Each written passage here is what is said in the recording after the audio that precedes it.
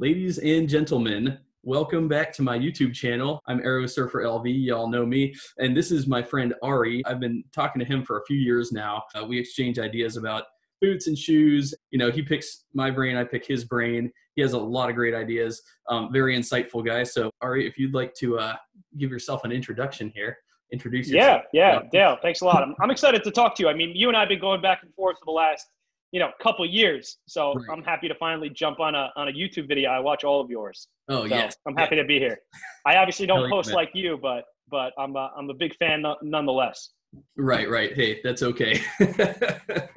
you know, we all have our different hobbies and and mine is just sharing my passion. You know, we all have, have our jobs and and my escape is into the world of boots. That's that's where I take my mental vacations throughout the day, throughout on my breaks and things. I'm all, I'm always ruminating on on boots, and it's always good to find like-minded people that think about this stuff. We have our lives, we have our careers, we have our families, and all this, but we have our hobbies too. That's what is so much fun to is totally know, And the way I look at it is like I don't know about you. You work from home too now, and I think most yeah. of us do. Um, right.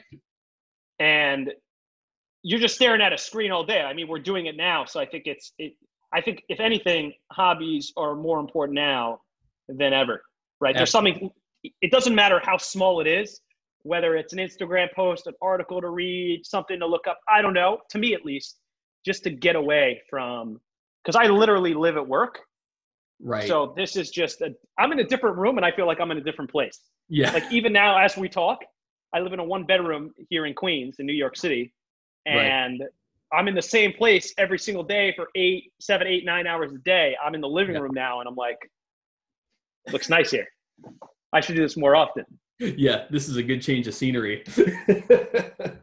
I'll tell you what, yeah, like I'm at I'm at home a lot now too, and my greatest escape now it's so lame but my greatest escape is just to go walk around the neighborhood and put wear on my boots but literally oh, yeah. walking that's no all. you got to get out yeah there have been days where I found myself like more melancholy because I just don't go outside. It's like because if there's nowhere to go here in New York, a couple months back, yeah, and I'm sure it was similar uh, in DC. I know you're in the burbs a little bit, but like things yeah. were shut down, and there was a sense of a lack of control. So every if you didn't need to go out, you wouldn't go out. Food delivered, you go out for ten minutes, you come back.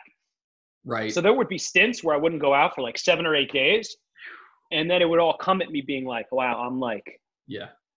I don't feel great right right. Mentally you're, you're not... physically. So yeah absolutely. things are things are better now. So so now i, I make sure to go out like you said at yeah. least once a day go out for half hour 20 minutes um right.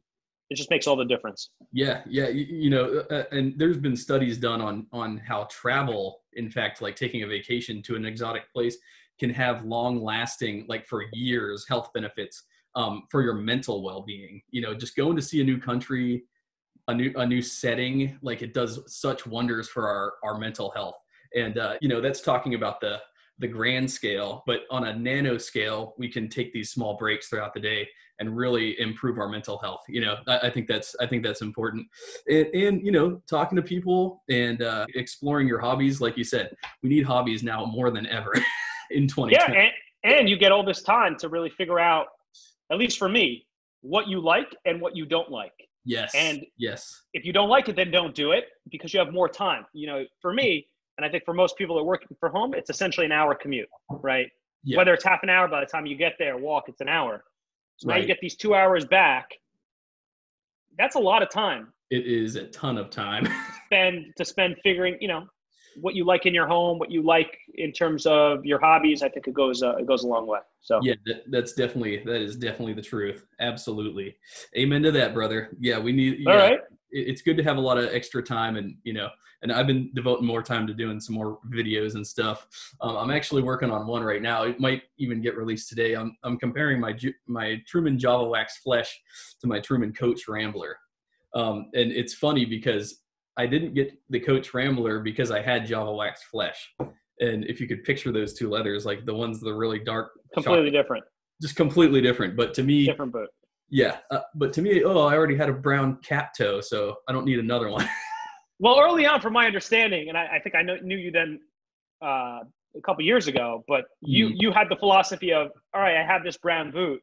or this brown yeah. shoe, so I'm not going to get the one that's a little bit different. And then I right. think you came to the conclusion of like, it's okay to have different shades, different makeups, because yeah. sure they may look similar when you get them out of the box, but one or two wears, the patina starts coming on. Right. They look completely different. Exactly. The Ramblers significant, look significantly different from the Trumans you have. Yes. Yes, it does. Oh my God, it's it's night and day different. Even if you have the same style, the same color, the same sole, the same eyelets, all that.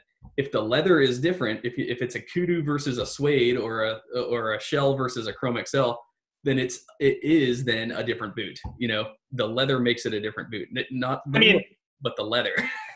I mean, you and I have a couple of these diesels, right? I have it in I have it in the black chrome, excel on leather. I used to have right. it in the rubber, which I'm which I sold. Um, I have it in the dune color, yes. and then I have it in kudu. I mean, if I was to put this in front of a layperson and then show them the diesel, they would think it's a different boot completely because the leather is just yeah. much different. It's not even a different color; it's a different texture.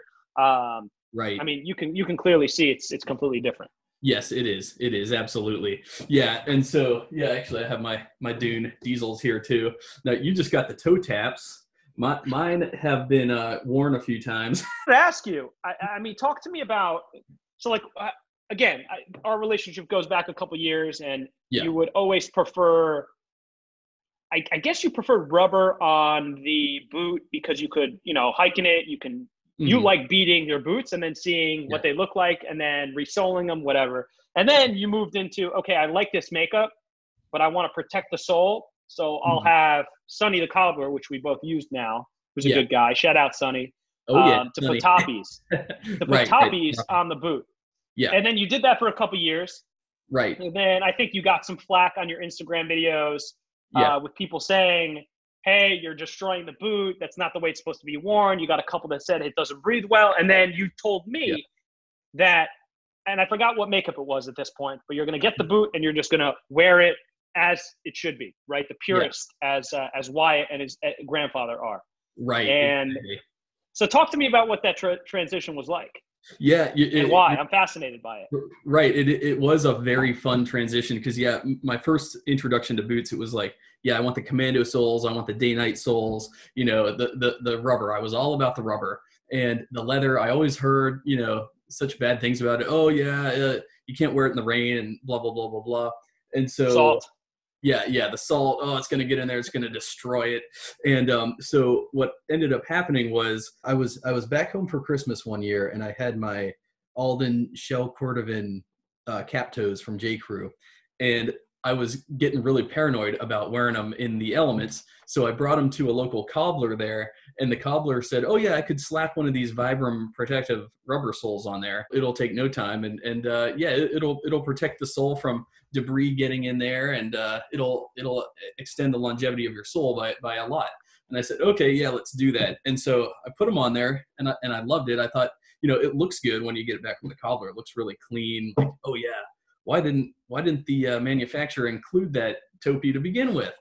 And um and then so this question started to really uh, penetrate my brain like wh- why would they make the leather soles leather to begin with? And so that was always plaguing me but yeah then i started making the youtube videos where i was putting the having cobbler sonny put the vibram protective soles on and every now and then i would get a comment like oh you're you know you just you just ruined the shoe you know but they never explain themselves and i'm like the aesthetics yeah the aesthetics yeah and finally one day came a guy came back to me and he said, "Well, it, it prevents the flex, you know, so so the sole can't flex as well." And he said that it also suffocates, uh, so it suffocates the breathability of the sole as well. And then I said, "Okay," and then so I started wearing those boots with the topies, and I noticed, yeah, the the sole was super stiff. It was like it would like the flex was not there.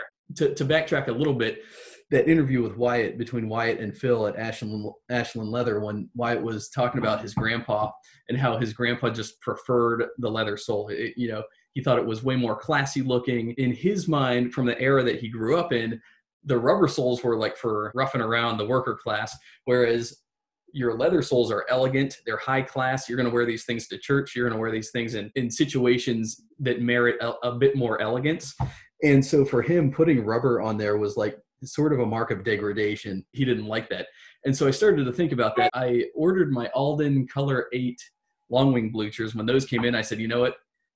I'm gonna I'm just I'm gonna be purist. I'm gonna wear them as is. I don't care. I'm not gonna put any protection on there, and I want to see how these wear down. That's kind of my evolution with it. I recently, as you know, have been going to Cobbler Sunny and having them strip off that Vibram protective rubber sole and putting on the toe taps because I I did find that uh, when I got my Grant Stone, my kudus, those storm kudus that you have right there, as well as the Midnight Suede. The Navy, the Navy Ottawas, yeah. Yeah, yeah, the Navy Ottawas, and then there was one other one that I got, and the toe started wearing down real quick on the leather sole. Yeah, it almost went down. I think on one. I think on the uh, on the Ottawa, the Navy ones, the Midnight. Yeah. It it it went to the midsole. Yeah. You walked for like five miles in them the first day you got them. Right.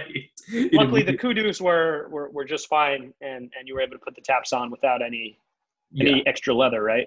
Right, right, exactly. But yeah, I wore down that I wore down the tip of it real bad on that first walk. so so I said, okay, well, I do need some layer of protection, and so that's when you know Cobbler Sonny he was always posting pictures of the Triumph toe taps and I said, damn, they look so sharp. You know, they look so badass. They do look sharp. Yeah. Yeah. They're brass. And so, and they give you the best of both worlds. They give you the flex and the breathability of the leather sole while retaining the protect some, some level of protection. Obviously it's not going to protect as much of the sole, but that's okay because when you're dealing with this type of stuff, you know, a, a lot of guys, they look forward to their next resole and frankly, so am I. So that's that's the way I'm right. going to do it now. Right. If you kept wearing the the the Ottawas, you probably would have needed a resole within a, a couple months because all the wear was happening at the toe. Right. You showed me a photo. The rest of the sole looked good. I think most people yeah. either wear wear the toe or the back of the heel because of the pressure. Right. You know, the way the way you're you're leaning on it. Right, exactly. That's that's 100% how it works. And uh, yeah, I do wear down the heel some. You, can, you might be able to see it there a little bit. Mm. That heel's rubber, so the rubber doesn't wear down as quickly. Right. So, but um, and that's but, easy to replace too. Yeah. Oh yeah, you could just take that off and put a new one on. So that that's not a big deal. So now I've come to let's just say long story short, I've really come to appreciate leather soles. I notice now that when I'm just walking on the leather sole, it's I could walk quicker and it's more comfortable and the flex is just so much better. And so like with the Vibram protective soles, I I didn't always notice it on my boots, but I did on the on my derby shoes. I just get a little bit of heel slip, not much, but just a little bit to where it was annoying. And so removing the Vibram protective soles and just riding riding the leather now there's zero heel slip. It's a hundred it feels so natural. And me you know I, I, like natural stuff you know I'm, I'm into natural foods and exercise and things. And and I, and I believe you know taking as as much of a natural approach to things as possible. Yeah long story short leather soles have become one of my favorites now. Everybody loves the day night, they love the commando but leather soles have a place in my heart now so. Yeah no no i hear you. To each their own. I agree with you um, yeah. I thought your interview with Wyatt was interesting because he said he said a, a bunch of uh, great he had a bunch of great points, and, and you mentioned this to Sonny too. You yeah. in those diesel boots, you mentioned the the heel slip, but also that it felt uneven. And mm-hmm. Wyatt even mentioned that extra one millimeter yeah changes the difference of the way you walk and like yes the dimensions of the shoe um, whereas when it's stock, right, when the shoe is being built, all those things are taken into consideration in terms of the measurements. Right, right, exactly. And we were talking about this the other day. It's one thing if the boot is built intentionally uh, on a rubber sole, on a commando sole, on a day night, whatever. It's another thing to glue, to bond welt the Vibram protective sole onto this. You know, it's very unnatural. It's very constricting because the boot wasn't designed that way. So basically, what you're doing is you're you're putting glue on it and you're putting this big sheet of rubber across it the rubber doesn't it doesn't flex with the leather in a natural way and so it leads to a lot of constricting. It's a completely different thing if if the boot is already built on the rubber then it's fine. And and don't get me wrong i still love my rubber soled shoes but really talking to you over the years and over the months like you've led me to you've helped lead me to this realization because i know that you were super hesitant to get the vibram protective layers like like you saw you know what it was uh, yeah. and sorry to interrupt you man but like i no, no. I would see your videos and you'd send me photos and I mm-hmm. you would take the photos and the videos and you'd show you walking and then I would see like the black mat on the bottom of the sole and I just felt like you have this beautiful on those black chrome excel yeah. The antique that Grant Stone I, I don't know if they still make it or you had it antiqued uh, by cobbler sonny. I think they had it at one point where it was a leather sole with the the cherry antiquing which i know is your favorite. Oh yeah. Oh, added yeah. the toppies to it and it was just this beautiful shoe and then i would see like black i don't know. It just didn't appeal to me aesthetically and i care a ton about aesthetics. Right right. That makes a lot of sense. Like i said when when you first get them back from the cobbler it looks so great. It looks like just so perfectly finished and beautiful and new. But then as soon as you start walking on them and especially when you walk on those protective soles a lot they start looking a little they, they look really dingy and really gummed up. And you could tell too that the sole is not breathing you know? That's that's a big thing because your foot does sweat a lot. Think about it when you when you slap rubber on there especially when you glue it on there that, that sweat doesn't have anywhere to escape you know throughout the day. And so uh, that, that's another thing that i like about the leather soles is it in my opinion it allows the uh, any moisture to wick out from beneath. So you might not notice it but i think it i can tell that it's happening. I'm with you like those ottawa boots in black chrome excel they look so much better without it. I mean especially you know when when you're walking or when you cross your legs or whatever and it exposes the bottom of the sole i think the leather just looks so much more organic. It looks just better. No it looks a lot better. Yeah and, and with the toe taps now my god super and i mean you and i have talked about this uh, ad nauseum but like Yeah.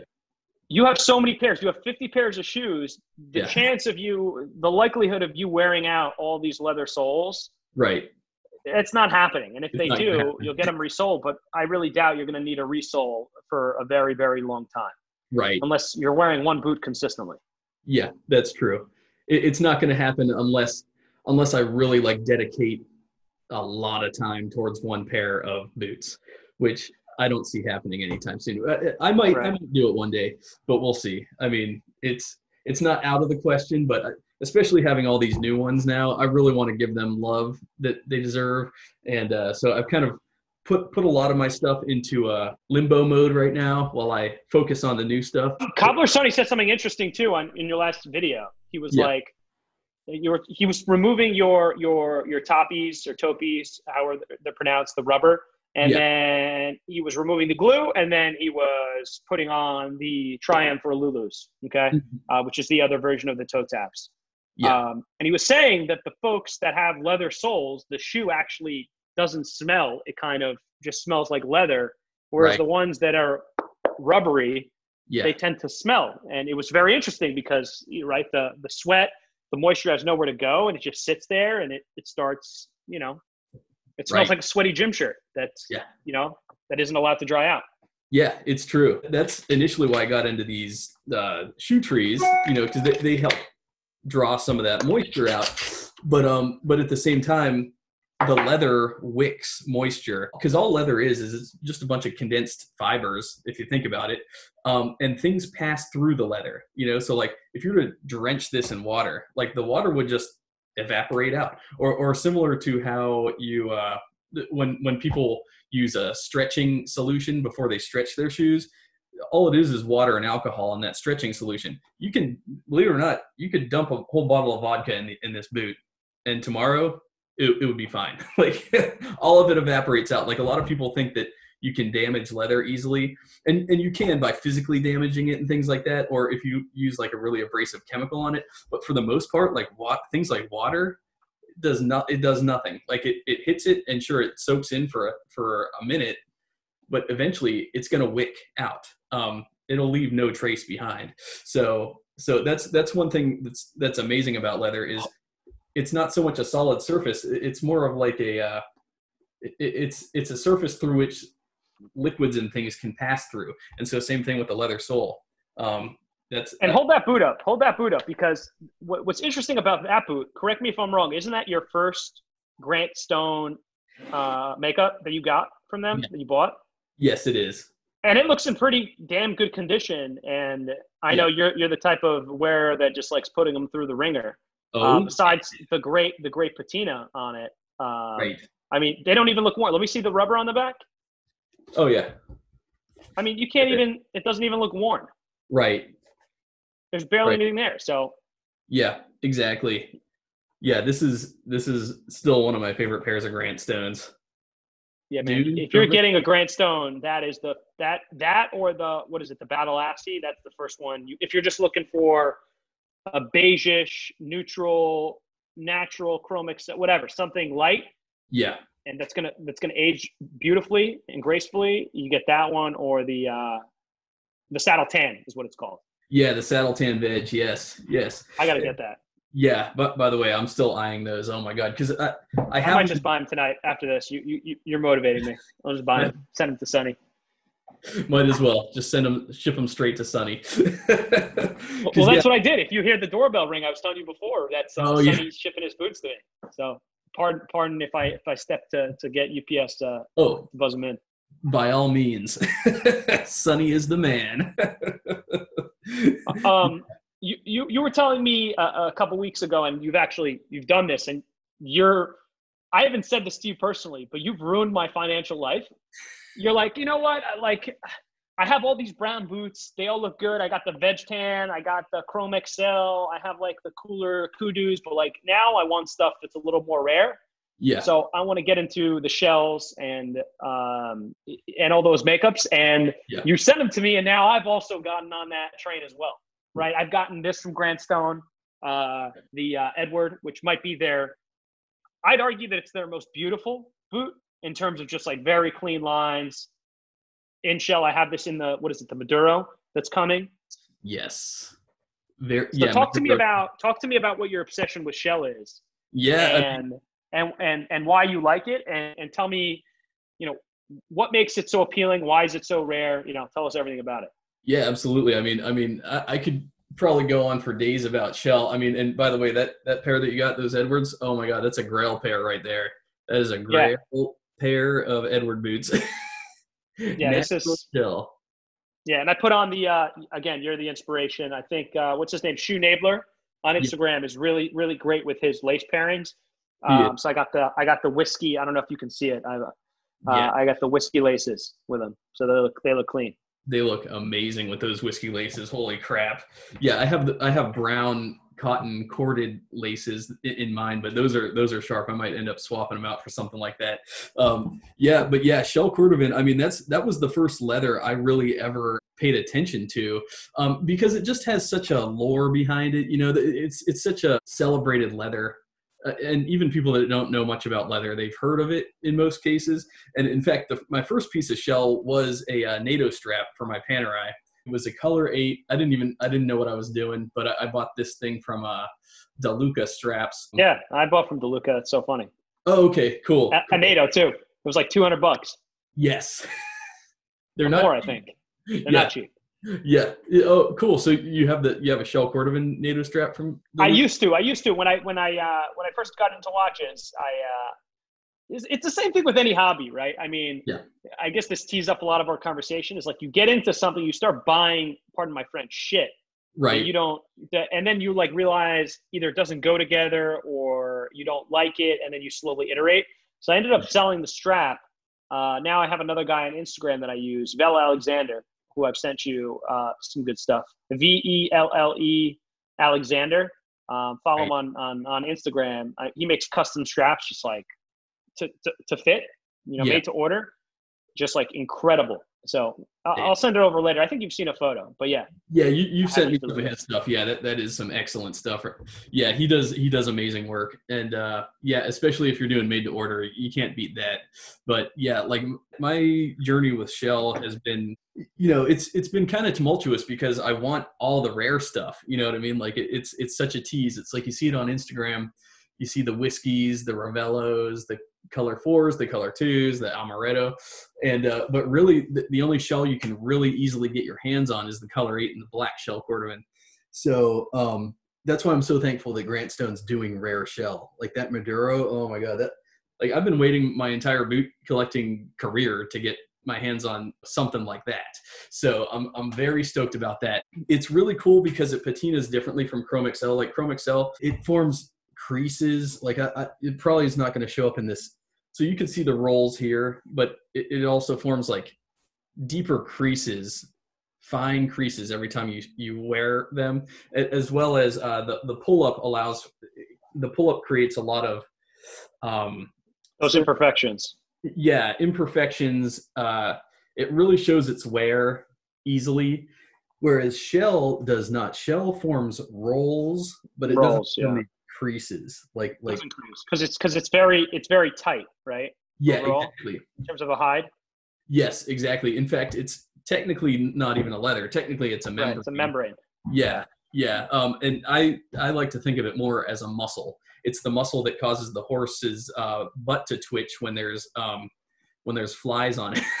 when it when it's getting the flies, like that twitch that its butt does. That's from the the mem- the membrane of shell cordovan. So it's more of a muscle if you want to think of it like that. And and it really is. So so like standard leather is kind of like oh, think of think of like I don't know beef jerky. Whereas shell cordovan, it's like it's perfect because it's it's very opulent and shiny and it's it's the most non-porous leather in the world but it's it's also got like sort of a translucence to it that's hard to describe but it does right. Like you could almost see through it in a, in a lot or see down into the depths of it if that makes sense right and it maintains its sheen right for the most part yeah. unless you like you know re- remove some of that glaze that that's yeah. normally added to the leather Right, that's true. And but that that sheen is also easy to restore, very easy to restore with right. a, a number of products. So now, now, now, here is Ravello and whiskey and you know, whatever all these names are. Mm-hmm. Are they actually rare, or are we just getting played as fools? That's a right? great question. I, I, don't mean to call out, you know, Alden, but like, right. there's right. no way that it should take four years to get any shoe, let alone shell. Like I understand, I understand, you know, there's not as much of it, and you need, you know, a lot of horses, whatever. But yeah. like, come on, what's the difference between color eight and then whiskey? Isn't it just the dye? What what am I missing here? Yeah, exactly. Well, a money grab. Oh, yeah, I mean, it could be. Yeah, I mean, the the way that it was uh, described to me was, you know, like your pair of natural shell right there. So the the Horween tannery isn't going to just take any horsehide or any shell cordovan sample and turn that into natural because it's going to have a lot of abrasions in it, a lot of scarring, a lot of blemishes. So for that reason, I want to say like, and this is the way that it was explained to me, like most of the hide has those imperfections, so they won't dye it a lighter color. Most hides uh. have, have so much scarring and and other things going on that they don't want to show that in the final product, so they dye it black or they dye it really dark burgundy color eight. That's that's mm. the story mm. as it's been told to me. So the Ravellos, the light colors, the the tobacco, the natural, the whiskey, those lighter colors are more rare because the, the hide has to be absolutely flawless. Now, but I'm with you though, like with the cigar, cigar is just as dark as color eight. So yeah. I'm with you. Like, wouldn't it just be a matter of swapping the dye? yeah. And what about like color four? Color four is like right in between. Yeah right? It's a little lighter, but not too dark. Right. I mean, you don't see that as often. At least I don't. That's true. I don't. I don't see it as often. And same with color two. It's like color two is all is very like a, a more of a red cherry color.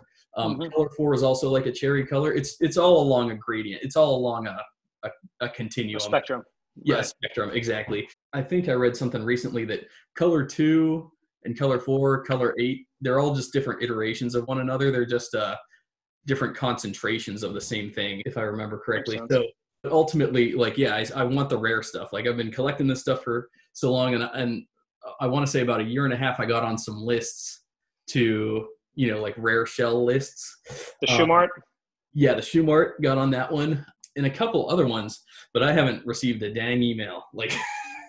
not a day, you know I, I heard that it would you know for my size i'm pretty common size a size eight and a half apparently that that could take a while since it's such a, it's a popular size. Yeah, it's a popular size, and yeah, so, seven and a half until like ten is going to be where you where you get most people. Right, right, exactly. So it, it might be a while before I see any of that stuff from Alden. So. All right. Well, Grant Stone is putting out from from my from, from what I've seen they'll do a couple drops of the same leathers, but a new shell every three to six months, I guess. Get mm-hmm. everybody mm-hmm. to save their money. Yeah. And drop another another sh- another shell makeup. Right, right, exactly. Which I'm stoked about. And like I told Wyatt during our, our meeting, like I had to thank him because if it weren't for him, I wouldn't have any rare shell. Well, I do have that pair of natural shell Vibergs, which also came out the same exact time that Grant Stone did. So my theory is, and this is just my theory based off of watching the different makeups and the different drops over the over the months and over the years. It looked it looked like I think Horween had a surge of natural shell at one point because they were able to stock up Grant Stone and they were able to stock up Viberg. But then uh but then Grant Stone later announced. So Grant Stone initially announced the Ottawa boot in natural shell, and then like two weeks later, they're like, by the way, here's an Edward boot in natural shell. So they must have and the penny and the penny loafer and, and the penny, right? Which exactly. I'm wearing right now to break in. Right, which you are wearing absolutely. So. so my, my thoughts are that Horween just had a surge of the natural shell, like just a surge. And um, same thing with the dark brown shell Alden calls it cigar. Um, I think Grant Stone called it uh, Maduro. Maduro. Maduro. Maduro.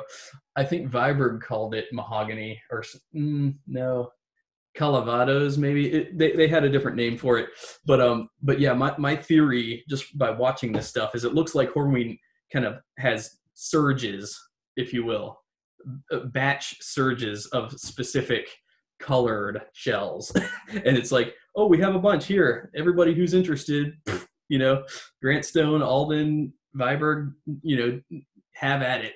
That's so why is theory. so what so so in terms of Horween, fine. We all know Horween is it's probably the, the, the oldest tannery, not the only one in the US, but the the oldest.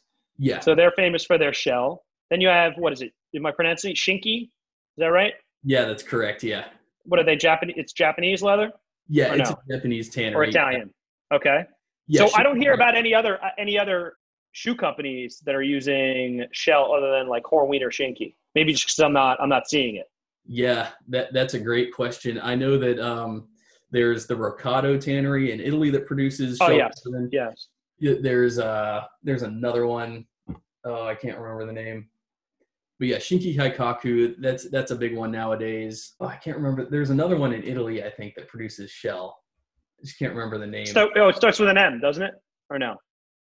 maybe. Well, Maryam Tannery, they produce. Oh, that's what I was going to say. Yeah, they, they produce horse rump, but they don't produce. Uh, I haven't seen them produce shell yet. There's a few different makers of shell. A, a lot of people prefer the Horween. Um, I think they're all just different. I don't I don't know that one is necessarily better than the other. Like I really like my Shinki Haikaku whiskey shell that I got from Mark Albert. Those are breaking in wonderfully. I mean, so cool. It like so many highs and lows of like oranges and yellows all throughout that makeup. It's it's really nice. And, and Jake actually, uh, almost vintage style. He really likes the Shinki Haikaku Tannery. He has a jacket made out of deer skin from there actually. So kind of cool. But I think they all produce just different stuff. And it, it's it's a good question. I, I saw Mark Albert actually. They sourced their first shell from Shinki Haikaku, and then the second one I think they did get from the Rocado tannery in Italy. Long story short, different makers source from different tanneries. Alden predominantly sources from Horween. I think they have like just a very strong relationship. Relationship. Yeah. Yeah. Yeah. So, but um, I've seen other makers like Viberg Truman. They go all over the world. They're like, "Yep, Maryam, sign me up. Uh, Shinki, sign me up." You know, the, Charles F. Stead, I think is probably one of the biggest. Both of them are always getting Charles F. Stead leathers. In fact, uh, Andrew at Parkhurst, he just did that raised reverse waxed mohawk, and that, right the brown leather, right? Yeah, and and that leather is the only one of its kind, and he worked that out, you know, personally between him and Stead and the tannery. So I thought that was really neat. So it, it all comes down to I yeah, think I love that boot. I love that boot that you have from Parkhurst. Everything about it, like I, I really love the fuzziness, you know, on the in the character of it. It's it's just fantastic.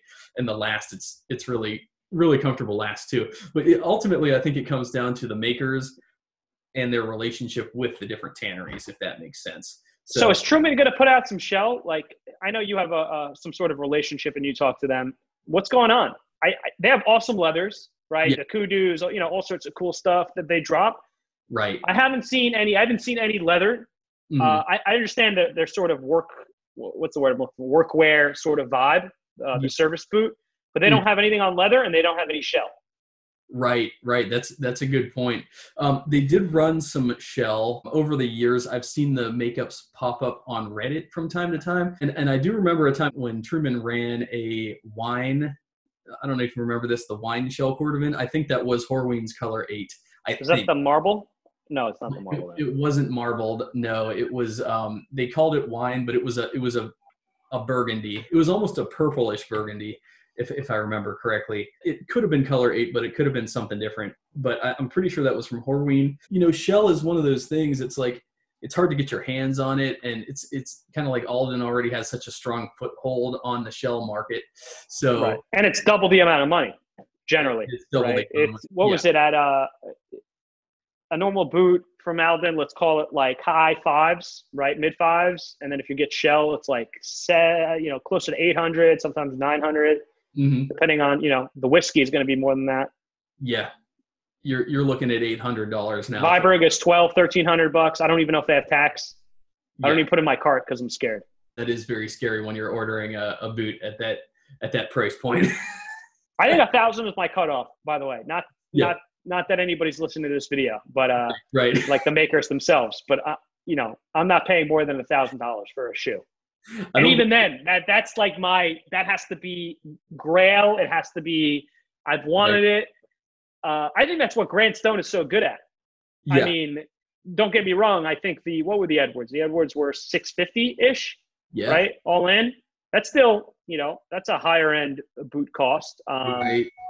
But right. I think that's a fair price point for Shell. That's a hell of a price. Comparatively. Oh, God. Two hundred yeah. bucks less than than what Alden charges, right? Yeah, exactly, exactly. It is it that is, that is a hell of a price. Um, that's why when when they released the Ottawas in honey glazed, I didn't even think. And then when they dropped the Edward a couple weeks later, again, I didn't even think. I'm like, give me those things. Yep, absolutely. Put my name. Down. Did you get the Maduros? You got the Maduros. Oh yeah, yeah. Absolutely. We're about a month in, right, in terms of when they drop. So we have because I put I put an order a couple days after you, I think. Yeah. Um, you you you actually told me you bought them, and I was thinking on it. I was like, you know what? Screw it. Bought bought them. So we have another two months. But after, and by the way, that's I ordered that without getting this yet because I got this. This is my one of the most recent ones. I got it this.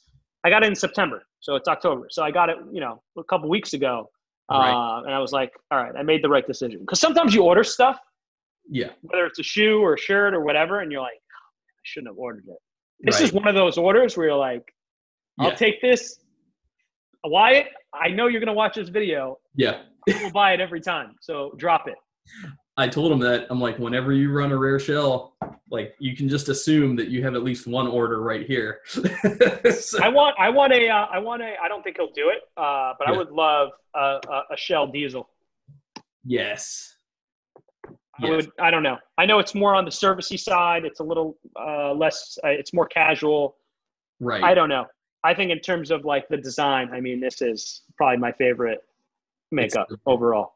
Yeah, it's so I good. love it. I love the damn backstay. I just love it all. The whole thing. Yeah. yeah, all of it. It's it's all just amazing.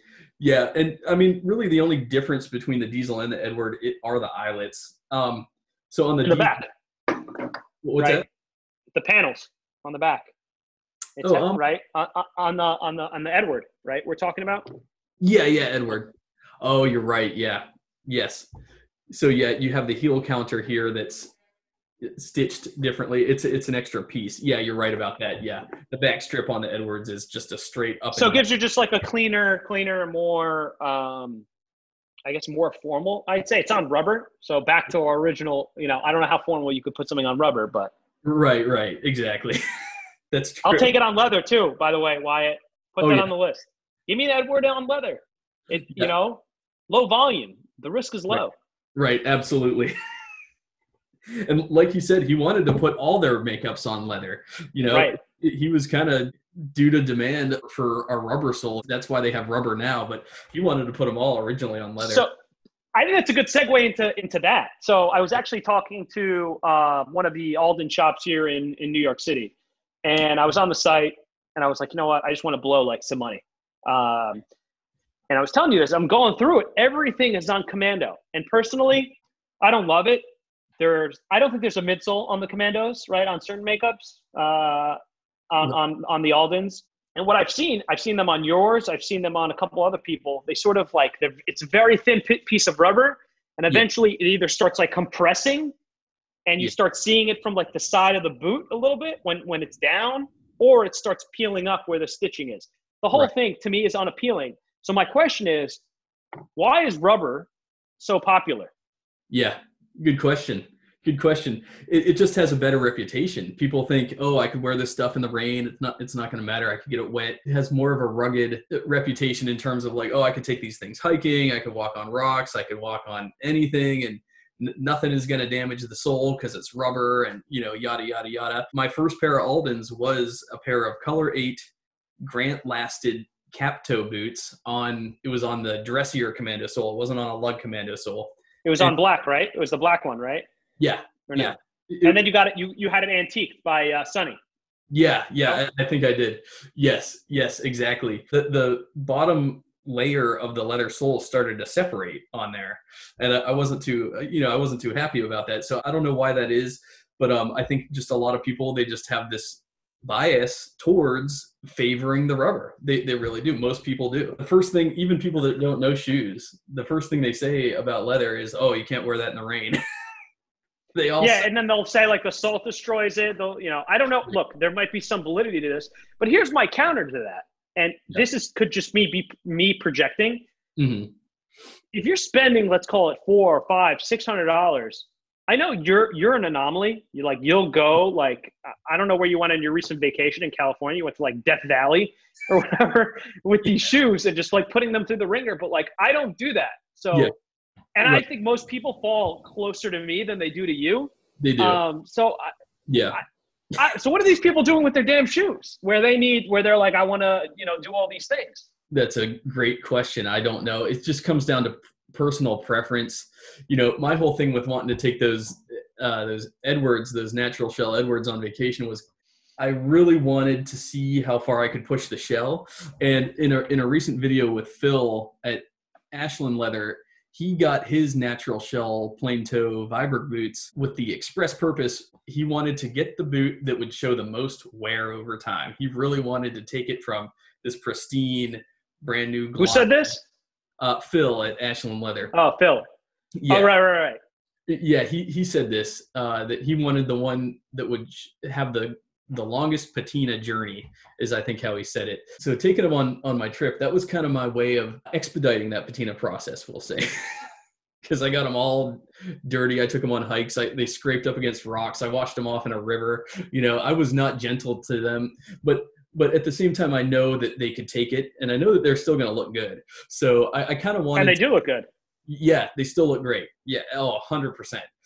In fact, I think they look even a little bit better since you know getting them all beat. Up. Well, that's up. your philosophy. The more the more you patina, beat it up, take it on a journey, the story it tells, the more you you enjoy it. Right, right, exactly, exactly. It becomes. Whereas me, I get a scratch and I uh, I panic. I like want to sell it and buy another one. I've gotten better at that though. No, I've gotten a lot better. Especially as you move higher end, you know, it tends to the boot is I don't know, it's just better. Yeah. It can take it. Right, right. It can. It can. You do have a point though. There is a right way to go about the patina process. I might have pushed the envelope a little bit with going to Death Valley and hiking in my natural. Oh, it was Death Valley? I was just joking. Oh, it was. Yeah, it was Death Valley. It, it was a lot. okay. Of, yeah. It looked like somewhere I didn't want to be. You brought your kids there? Yeah, yeah. It was extremely hot. Oh my god. but it was cool. They, they, the, the place we stayed had a natural spring pool, believe it or not. It was a pool fed by natural spring water. It wasn't treated at all. Crazy. Out in the middle. So were they recording you while you were walking with those shoes? Uh, um oh no, no. Um I I recorded myself. okay. I'm just wondering. yeah, that's why you brought them to Death Valley. Yeah, yeah, yeah. Putting patina on your on your boots.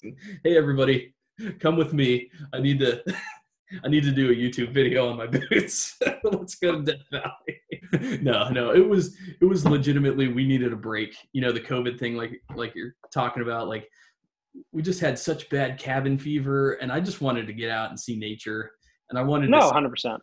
yeah, yeah. So that was that was the main goal. Um, yeah, of course, the secondary goal was doing the cool YouTube video, but By the way, I have, a, I have a rule, and I haven't told you this yet. My my new rule is going to be: I think I'm going to stick to leather okay, as general point. If it's on, if it's shell, yeah, and the option is I have to put it on, you know, for example, like the Maduro or the honey, uh, the glazed honey yeah, on micro stud, I will buy it. But I have a, a preference for leather, and Mhm. then throw on some some taps.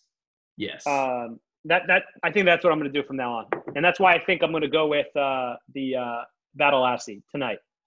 I'm going to order them that is such. because a I don't want I don't want them on Neo Cork, and I don't I don't you know I don't want uh, it on Commando from Oh, Alden. And I gotcha. I gotcha. That makes sense. No, I'm, I'm with you. That that Carlo Badalassi. Oh my god, it's so nice. That's an Italian naturally veg, vegetable tanned leather, and that's really going to show its wear. I mean, it's going to patina dramatically differently compared to Chrome Excel does. Chrome Excel almost. I don't want to say it has a boring. It, it, definitely not a boring patina process, but it's just different from that natural veg tan calf skin. That stuff, like like I have that same leather in in the Grant Stone Derbies, and it has just patinaed oh right, wonderfully. I mean, and that's the reason that I don't get those diesels in in the natural tan veg Badalassi is because I already have them in a derby. But trust me, it's still it still haunts my dreams to a point. I still kind of still want them anyways, but you know what? Once I get them and take a photo, when Cobbler Sonny sends them back, you're gonna Yeah. you're gonna buy them. yeah, I probably Like wow, that's that's dope. I'm gonna So- cave. yeah, exactly. So I've noticed that I've noticed that most of your the, your recent boots, and I think over the last ten, all of them are Goodyear welted. So what's the deal? Is it a preference or is it availability? And Um, if it's none of those, what is your preference? Yeah, that's a great question, actually. Um, yeah, so for the most part, it is. For the most part, it does come down to availability. But even if I did have the choice between Stitch Down and and Goodyear Welt, I'd still probably go for the Goodyear Welt. I just like the look of the Goodyear Welt better. I know it's a it's a personal thing, and a lot of people say that Goodyear Welt is ugly uh, uh, and that they prefer the Stitch Down. And I'm like, what are you talking about? This is beautiful. This is it's so clean. Ugly how? Ugly how? I don't know. They don't explain themselves. They just say, oh. Goodyear But Welt. stitch down normally it's like double stitched, and Yeah. sometimes the stitching, and most times it's not uniform. That's true. Yeah, I mean, a a lot of people prefer the stitch down. It's an aesthetic preference, and uh, most people that voice their opinion on it are like, "Yeah, I like the stitch down." You know, White's does it, Nicks does it, Truman used to do it, Viberg does it. There is debate as to which one's easier to do, too. Oddly enough, like Truman charges an extra hundred. Hundred, at least an extra hundred dollars to do stitch down compared to Goodyear Welt, but ultimately, I think it's how your your factory is set up because other places are the completely opposite. Like they charge more for Goodyear welt compared to stitch down, and I'm like, well, which one is it? And and I've also it's been my assessment that the stitch down's harder to resole, but then Well, you don't get as many resoles because you're going through the actual upper, right? Right. If I'm if I'm understanding correctly. yeah You're putting the needle in, fine. You you resole it, you put it in again, fine. The hole's bigger. yeah There's only so much leather that you can put the needle through before it starts to not look good, a and to Yeah. tear. right. Whereas right. Goodyear, well, I've seen I've seen I've been watching a lot of. I sent you a link before for Potters and Sons. Um, Just look them up. Yeah, th- those guys are based. Uh, they're based, I think, in Nashville, Tennessee. I think they're from Georgia. But anyway, okay, right. I've seen them. I've seen Goodyear welted shoes where the welt is completely done, and even some of the upper is screwed up, and they're still able to, you know, put in like another piece of material in order to uh, reinforce, and then make another welt, and the shoe looks brand new.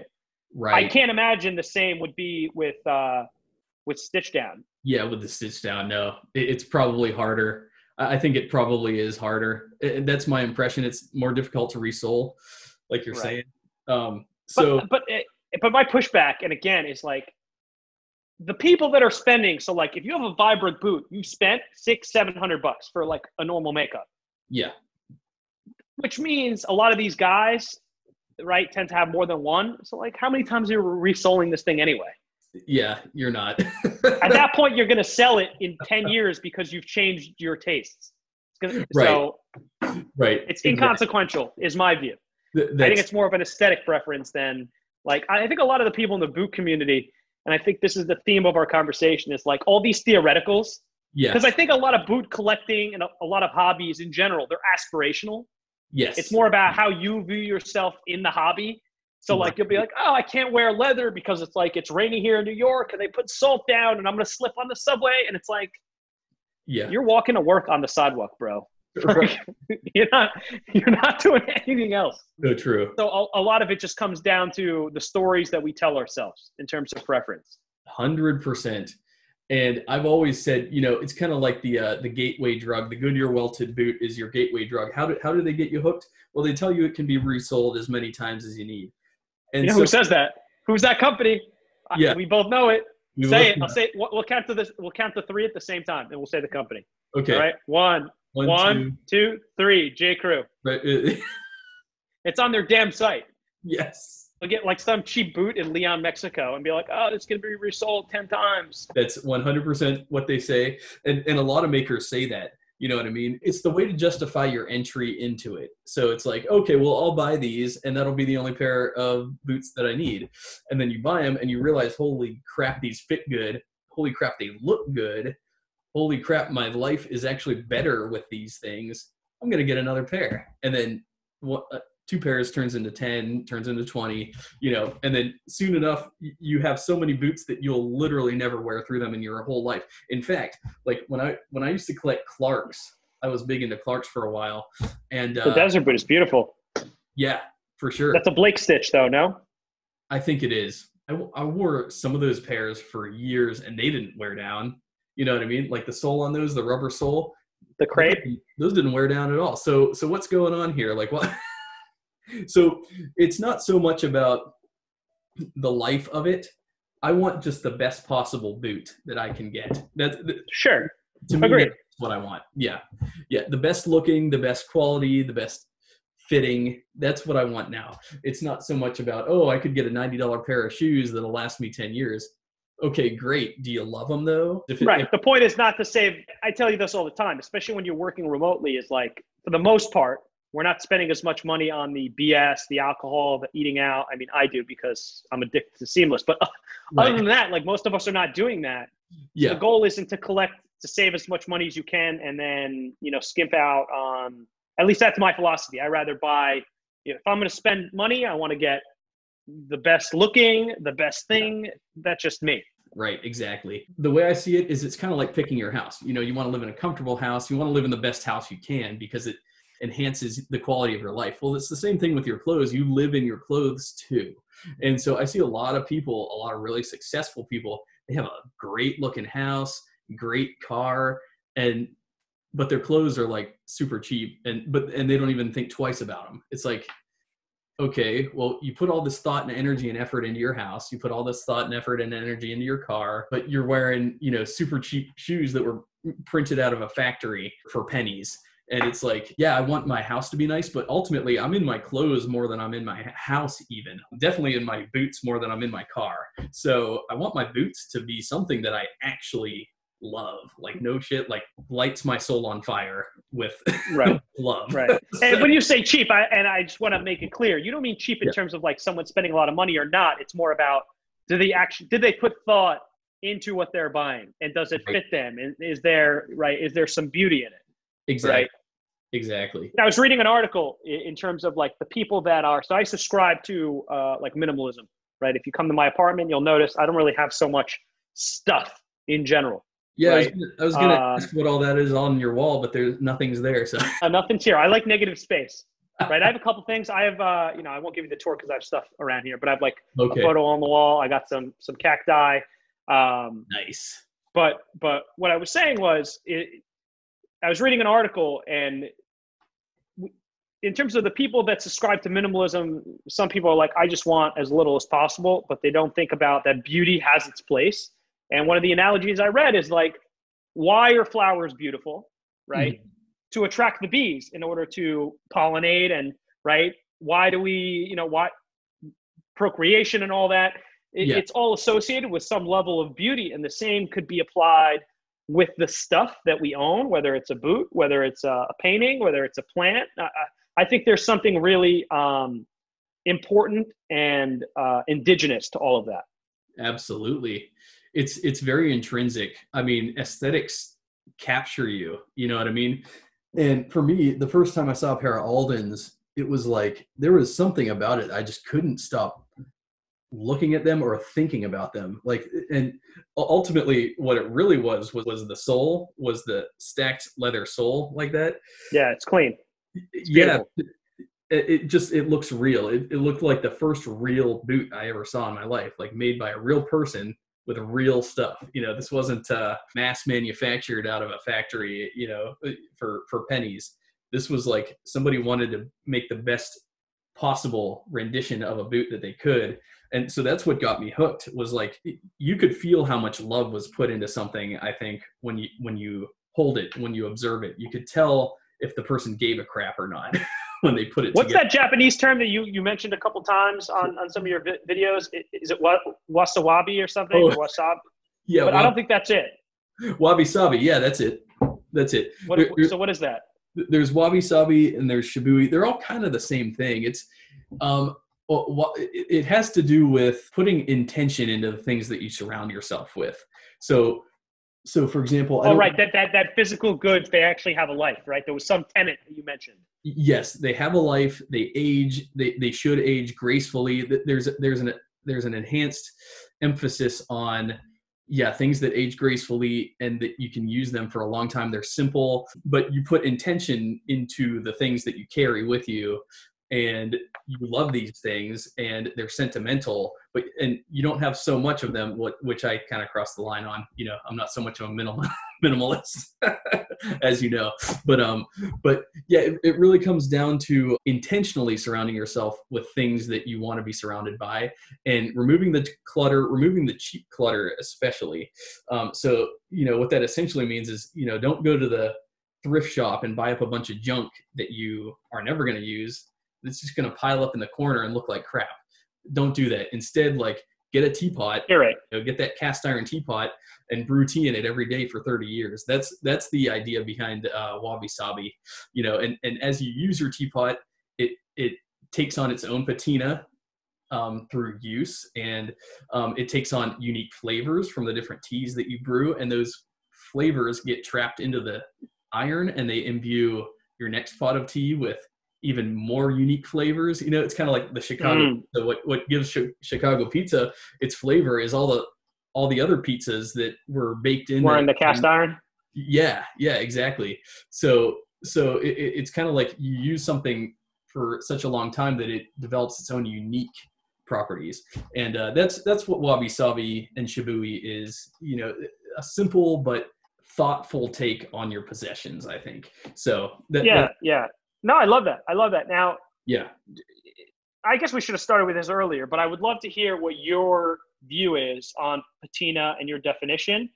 And Yeah. the second piece to that is I know you're a big fan of on your footwear, but do you Mm-hmm. apply that with the other things that you own? Like I know you're wearing your Panerai now. Oh do yeah. you subscribe to that same school of thought with the patina with a little you know you don't want you don't want to be it doesn't want to be smashed but do you appreciate the you know the the, Yeah. the age Yeah, no, that's that's a great question. Yeah, it comes down to uh, really asking what patina is and what it is not. And um, yeah, so like, what isn't it yeah, that's that's a good question. I think what it isn't is forcing it to happen. So, for example, um, I watched what was it when they were making the fourth Indiana Jones movie? They took the Alden 405s and they and they uh, distressed them intentionally with some sort of sander, and they sanded up his boots. And to me, it didn't quite look, you know, when they were on screen, like it would probably deceive most people like oh yeah those looked like some beat up boots but i could tell that they were brand new boots that, that were just sanded you know. Mm, you can't really trick people in that way and that's to me that's what patina is not is artificially creating it. Kind of like with jeans too with denim yeah i was going to say distressed jeans. Like what is Yeah. you know would you wear that right distressed denim i mean i used to i don't wear them anymore but okay but I used to, and um, and I can tell you after after having the raw denim and achieving my own level of fades, now I'm not nearly as crazy as some of these guys. Well, but and I have a point to make after, by the way, about all this. Okay, yeah, yeah. But, So go but, ahead. yeah, long story short, um, patina is achieved through what's the best word? Through candid and honest use. So, for example, my J. Crew stretch denims, they're selvage, they have faded up really nicely. Um, so they started out, they were raw, they were dark, that deep inky uh, indigo blue color, and now they're now they're they're still dark, but they're starting to show their vibrancy, that vibrant indigo, that brilliant bright blue indigo, starting to come through now. And to me, that's just so fulfilling. I- feel like it's an achievement. You know, I've washed them twice on cold in my washer, and I've used them. They're the jeans that I wear the most, and, I, and I've been wearing them for probably over a year now. And to me, that's the most fulfilling thing is actually intentionally, authentically wearing them and getting the fades instead of say buying them already pre-distressed that's just the cheap way to do it or intentionally distressing them yourself that's another cheap way to do it i think use them uh, take care of them respect them and let the patina happen. Just let it happen. Don't try to force it. Don't don't try to apply all kinds of different like for your boots don't don't try to apply all kinds of you know saturate it and all these different treatments and everything. Most of your boots don't need treated for several years you know after owning them.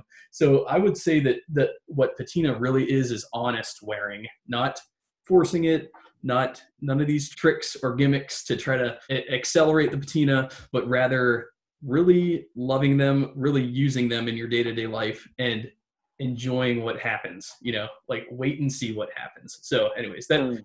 that's what i have to say Yeah. about that I uh, I uh, I just had a thought. When I was in high school, the ripped jeans were were were you know because it, it goes in and out every like three years, two years. Ripped jeans come and go. It's one of Yeah. those things with denim. Yeah. And um, I would I went to like American Eagle, and I would Yeah. buy the denim, and then I would take like a scissor, Uh-huh. open it, and then like rub it, and then something like the first time I did it, I went too far, and I ripped the damn pant Oh, and because that I, I don't know what the right terminology is but you know the strands the strings of, of the denim yeah, right? Once it's all ripped and you can see like the skin you don't look cool you look broke right? You know what i mean right and at that I, I remember thinking to myself damn i'm shit out of luck i just spent like 40 50 bucks on a pair of jeans from american eagle and just made a hole in them right and uh, that was the beginning moment of me realizing that if i just wore them and used them honestly as you say yeah they will they will look the way I want them to look. right, Right. Of course, you should like them when you buy them. I don't want to, you know, Yeah. misrepresent the buying of an item for it to look a certain way down the road. You Yeah. should buy it and enjoy it and enjoy the entire life cycle right of Exactly. the object. But I do have a problem personally with you know the fade culture with denim. Like some of these, dude, some of these jeans look so bad yeah like what are you doing see i'll see um like fades in the pocket where someone's wallet is or their phone and it's completely ripped through and they still have their wallet in there like where did we lose you on this that's not what you should be doing and i know it's i'm being i'm being biased but it looks so Yeah. bad on some of these jeans oh yeah i wish we could like scroll maybe on our next one we can scroll go through ig without and like blank out the names yeah and just like give some examples because it is it is a sad state. You know what it reminds me of? The Uggs from back Yeah. in like from 2008 to like 2016 or 15, where Right. you'd have like the girl who would wear them, and then like the back heel or whatever is worn out, and she's walking like that's what it reminds me of. The same, just like no, right stop. Right. I think in the denim them. world, yeah, the, the denim world is one of those things. I think it's filled with a lot of people that are just really eccentric. And I think there's a lot of neuroticism going on in the denim world too, because, you know, some of this denim is expensive. It's two, three hundred dollars, and I've messed them Yeah. up for myself. You know, it's expensive. So, but some people are like, nope, I made that investment, and I'm going to make this work no matter what the hell I have to do. What's the deal with wearing it for like a year straight? Like I'm all about. Yeah. Like some people just don't wash them at all. right. And I'm like, I hang dry all my all my denim. You know, like I'll wash them on delicate and cold. You know, every you know once a month, every couple weeks. You know, now I don't wear them at all. So whatever. Right. But then that's like some people are not washing them at all. That Yeah. concerns me. That that's true, and and I tried that, and let me tell you what, it, they start to get just kind of nasty. Like like eventually, so much stuff gets into the into the fibers of the denim. You gotta wash those Yeah. eventually. Yeah, man, it's rubbing on your skin, sweat, oil. I mean, it's imagine not changing your bed sheets for for I don't even want to say more than a month. I'm talking about like months at a time, year. Like, can you imagine yeah, what white sheets would look like after six months? They would be all that tinge of yellow. It's like a white collar shirt. But I learned that during my bar mitzvah. By the way, that was my lesson with white. really. right? Because you you go to the synagogue, you have your button down shirt, and it's rubbing against your neck. And I would be lazy, like a young teenager, and I'd be like, forget it, I don't need to wash it. It doesn't smell. I wore it for you know a couple hours, and then Right. you do that twice or three times, and then you start realizing that in bright light, it's got this dingy, yellowy look to it because it's all the you know. I'm not gonna you know the oil, the skin, whatever. You got to wash your stuff, man. Yeah, you gotta wash it, hundred percent, hundred percent. Wash your shit. Yeah, hu- humans are very, you know, our skin is not. It, it, our skin is an organ, and it's constantly breeding sweat. so, Yeah, we're alive. So that's my one criticism, right? That's when. So that that- I guess that's my point with uh, Yeah. with too much of anything is is is not good. And my point in that exaggerated uh, remark, I feel like part of patina's definition is also balance, yes, right? yes, Right. And I don't I don't think we touched upon that. It's it's it's not too much, not Right. too little. Very much like the way we should lead lead most of our lives, which I Mhm. find extremely poetic in some way right? too. Too much of anything is too bad, right? Too much drinking, too much eating, too much, right? Too much exercise, too little. So I, I, I don't know. To me, it's Right. it's a balance, and if you hit that balance, you're going to have that beautiful patina, not only in your stuff but in your life. Yes, that is one hundred percent so well summed up. I mean, yeah, I couldn't have said it better myself. I mean, you you, you nailed it there, man. I mean, it's it's so true. Like like with me with exercise, um, you can one hundred percent overdo it. You know, even we're seeing it now with some of these pro athletes. Like their hearts are enlarged from all the scar tissue because they do so much cardio every single day that their heart literally becomes filled with scar tissue and like I think Lance Armstrong's heart is huge now because of all the cardio he's done in his life. It's like you too much exercise is bad. Like uh, like it's bad if you don't exercise, but guess what? It's it's bad if you do too much. so Right. same thing right, right. eating. You can eat too much. You can um, you can take too many uh, supplements. You know that. I take a lot of supplements, and I can tell you, you can overdo it with those too. You, you need to. It needs to be in just the right balance to benefit you the most. You know, and it's Yeah. the same thing with clothes. It's the same thing with denim. It's the same thing with boots. And yeah, I think the denim. Except you have 50 boots. I Not do. to call you out on a recorded uh, video chat, but uh, I mean, there's no there's no balance. There's no Oh, there's no- in having 50. It's- Which is fine. But by the way, but, but in all Yeah. fairness, though, yeah, the, the, the I think that's okay though. Too much. If everything is precious, then nothing is precious, right? If everything matters, then nothing matters. So you, right. you're not the same way about like I don't know your spoons. You know what I mean? Like That's true. you, you'll have a, you'll have enough, and then that's good. And you know the things that you love, you will you will collect and have more of. So I think there's a balance there. That that's a great point. Yeah. The the reason I still buy boots and I still have more on the way, by the way, uh, is because they still captivate me. Like all the new ones, it, it's it's like like for me, for example, my bikes. You can't see them, but I have three bikes hanging, and I stopped at three bikes. Like I have a, a mountain bike and a road bike and, a, and another road bike, and uh, same with my guitars. Like I'm not super into my guitar hobby, so I have I have three guitars. That's where I stopped. That's all I need. But with boots, it's like no, no, I still want more. Like it just All right. for some. So you're going to set a rule. I wonder if you would have find more value if you if you if you set a rule of I, I know 50 is a lot, but if you had if you stopped at at 50 or you had 25 because there's something like really deliberate because I think to myself and I was telling you this the other day. Maybe I didn't say it so explicitly. Yeah. Is I live in a small apartment here in Astoria, New York. Right, you saw my closet. Uh, it- it's not big at all.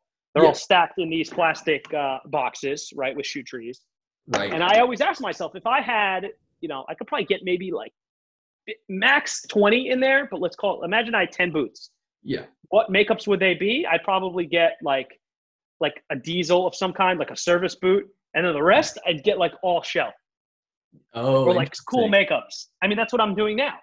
Right. So I wonder if your hobby would be enhanced if you applied that same philosophy to yourself. A little friction, you know, in terms of like enjoyment in your life. When it's too easy, it's not enjoyable, right? Mhm. When there's a little friction, that's what really gets you better at something and gets you to enjoy it and appreciate it. And also artistically, like that, the best pieces of art and expressions of art have come through stories that people faced adversity from. So I wonder if, you know, applying that rule to your to your to your boot hobby Yeah. would actually, although difficult, would have you enjoy it more than you already do. Possibly, yeah, absolutely, and that's a great point. The best things come out of stress, out of high stress situations, high stress.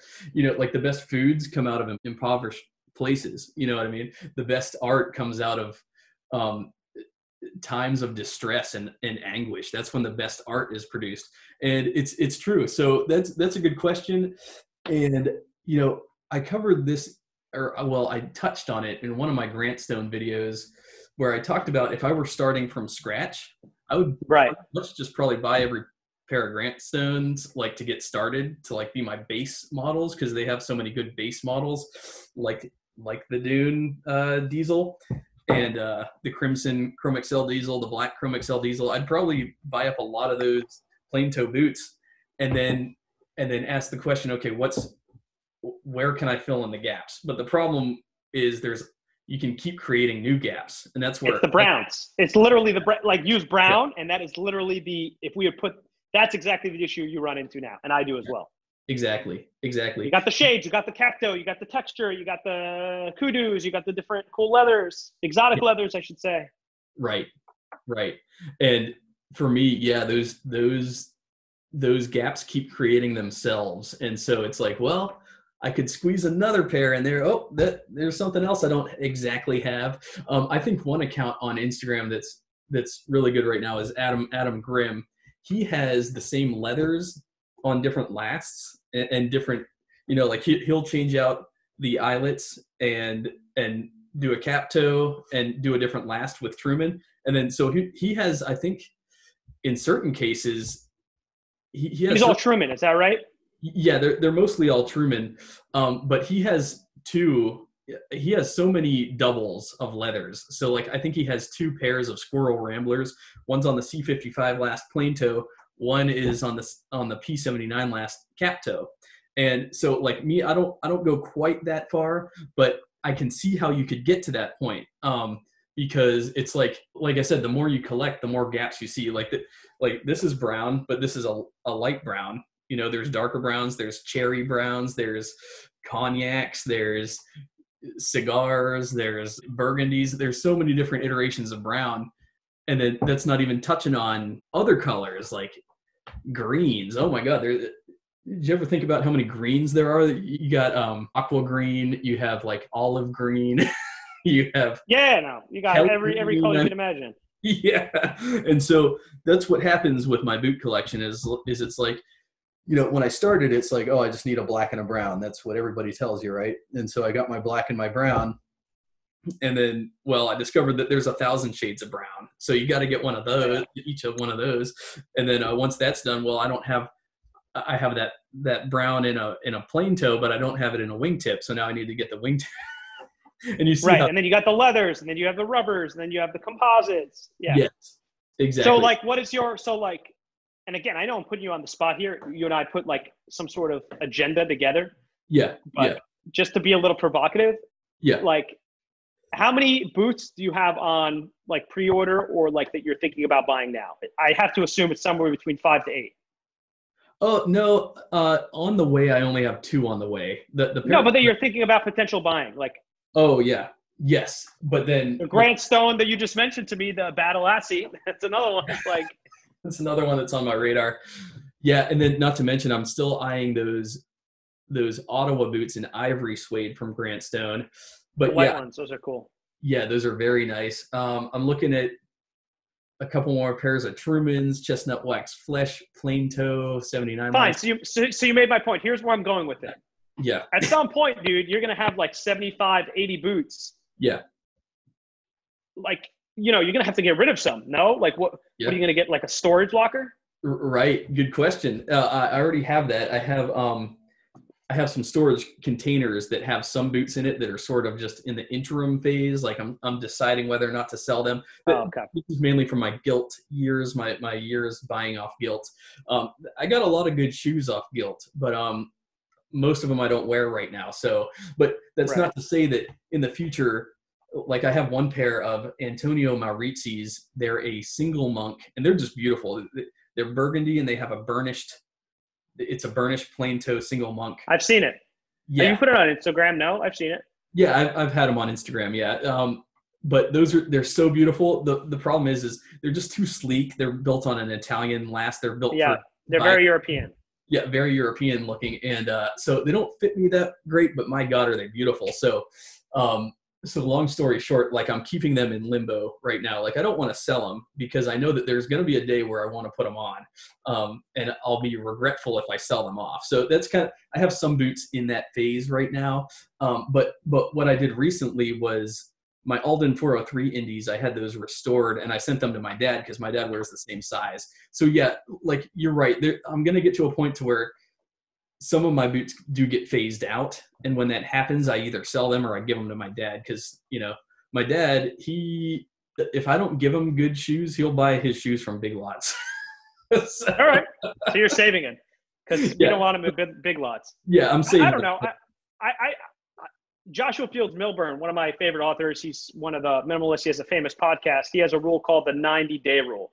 And you Okay. can create your own rule, whatever, but his basically rule is with his with his stuff that he wears, Yeah, if you don't wear it 90 days back, and that covers three seasons, you Huh. got to let it go. And that's his that's his way because it's already sunk cost if you think about it. Like there's Yeah. no way of recouping the money, and I think a lot of people hold on to things, including shoes, because they're like, uh, you know, I paid, I paid, you know, for these Aldens, I paid. Maybe that's not a good example because they hold their resale value, but whatever. I bought this shoe for for nine hundred dollars or eight hundred dollars or five hundred, and you know, but it's already sunk cost. Right, right. That makes sense. That makes sense. And I will say, it feels good to get rid of the old stuff. Um, in fact, Cobbler Sonny, um, I gave him a pair of my selvage denim that I don't wear anymore because they don't fit me anymore. Um, and he just he shrunk them down in the dryer and they fit him perfectly. He has like a size 29 waist. What was it? The COVID nineteen you put on? You had to give him Yeah. pants. yeah. so no, I, I just I had these this pair of selvage denim and, and they fit well when I'm standing, but when I would sit, oh my god, it was Or were they button flies? The worst freaking pants. That's I should have brought that up during my whole thing. Who came up with that? Talk about being a purist for no for like. At least leather is comfortable, right? Like leather shoes, but like button flies, stop. You can't go to the bathroom. They're uncomfortable when you sit, and then when you think you've opened them, there's one more button every time. You know, there's always another button. Why would I want those? I, I. I, I literally will not buy selvage anymore if they have button flies. I've given up. Just put a zipper on it. Like, come on, make it easy. right, right. I barely want to go get up to go to the bathroom as it is now during COVID at my apartment. Now you got to put like, you know, like what do you call it? Like cones between all this Right, right. Yeah, the, me to the go around. they they are annoying. You know the reason? Well, one of the reasons why they justify that, right?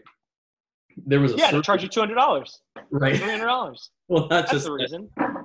there was a survey done. Apparently, um, these uh, they asked women the difference, like their preference in appearance between the button fly jeans and the zip jeans, and they, I, I want to say, like eighty percent of the women preferred the look of the button fly.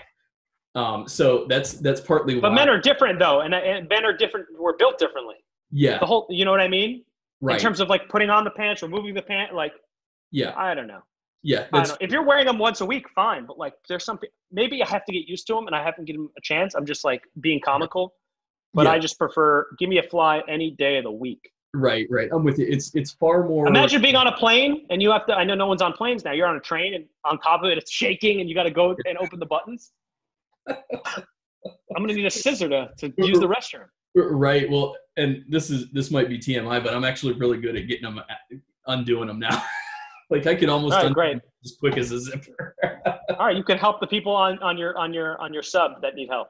yeah, yeah, and Right. Well, but as as those holes break in, not not the button, not the metal hardware button itself, No, I got you. but the hole. As you wear those, continue to wear them. It's easier to get the button in and out of them because they break. In. Yeah, in. you know what's also easy? Yeah. A, a zipper. A zipper. Good point. Yeah. Touche. Yeah. Touche. No, I'll give you that one. That's that's for sure. Um, All right. You don't have any pigeon tree crafting uh, belts, right? Yet. No, I don't, but they're Okay. they're beautiful. I have a belt from um I only have one brown belt from Horween made by Brock Road.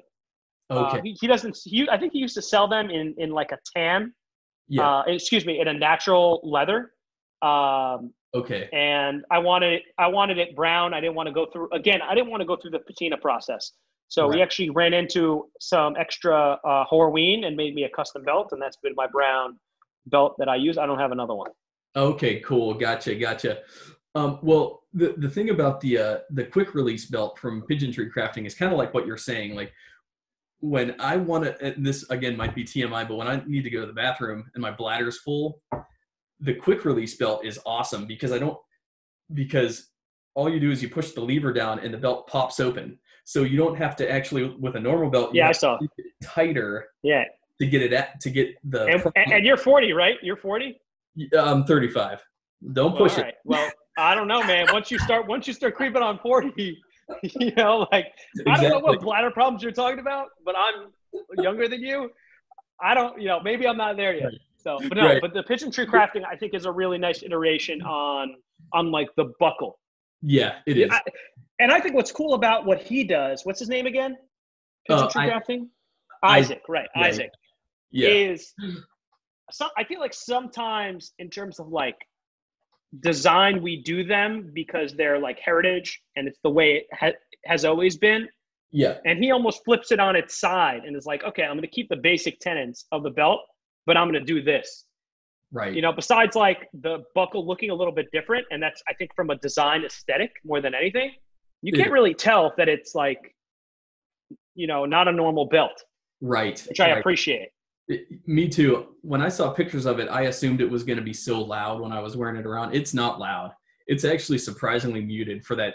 For you know that when when you're looking at it, it looks like a quite an aggressive style. But when you're wearing it, like no, it's it's not it's not loud at all. It's totally it's totally elegant. Even though from the outside looking in, it looks like it would be a quite a bold fashion statement. It's not. It's totally like reasonable to wear that in most all occasions. So yeah, but that's what I like about it is the quick release. You know, it's easy on the bladder.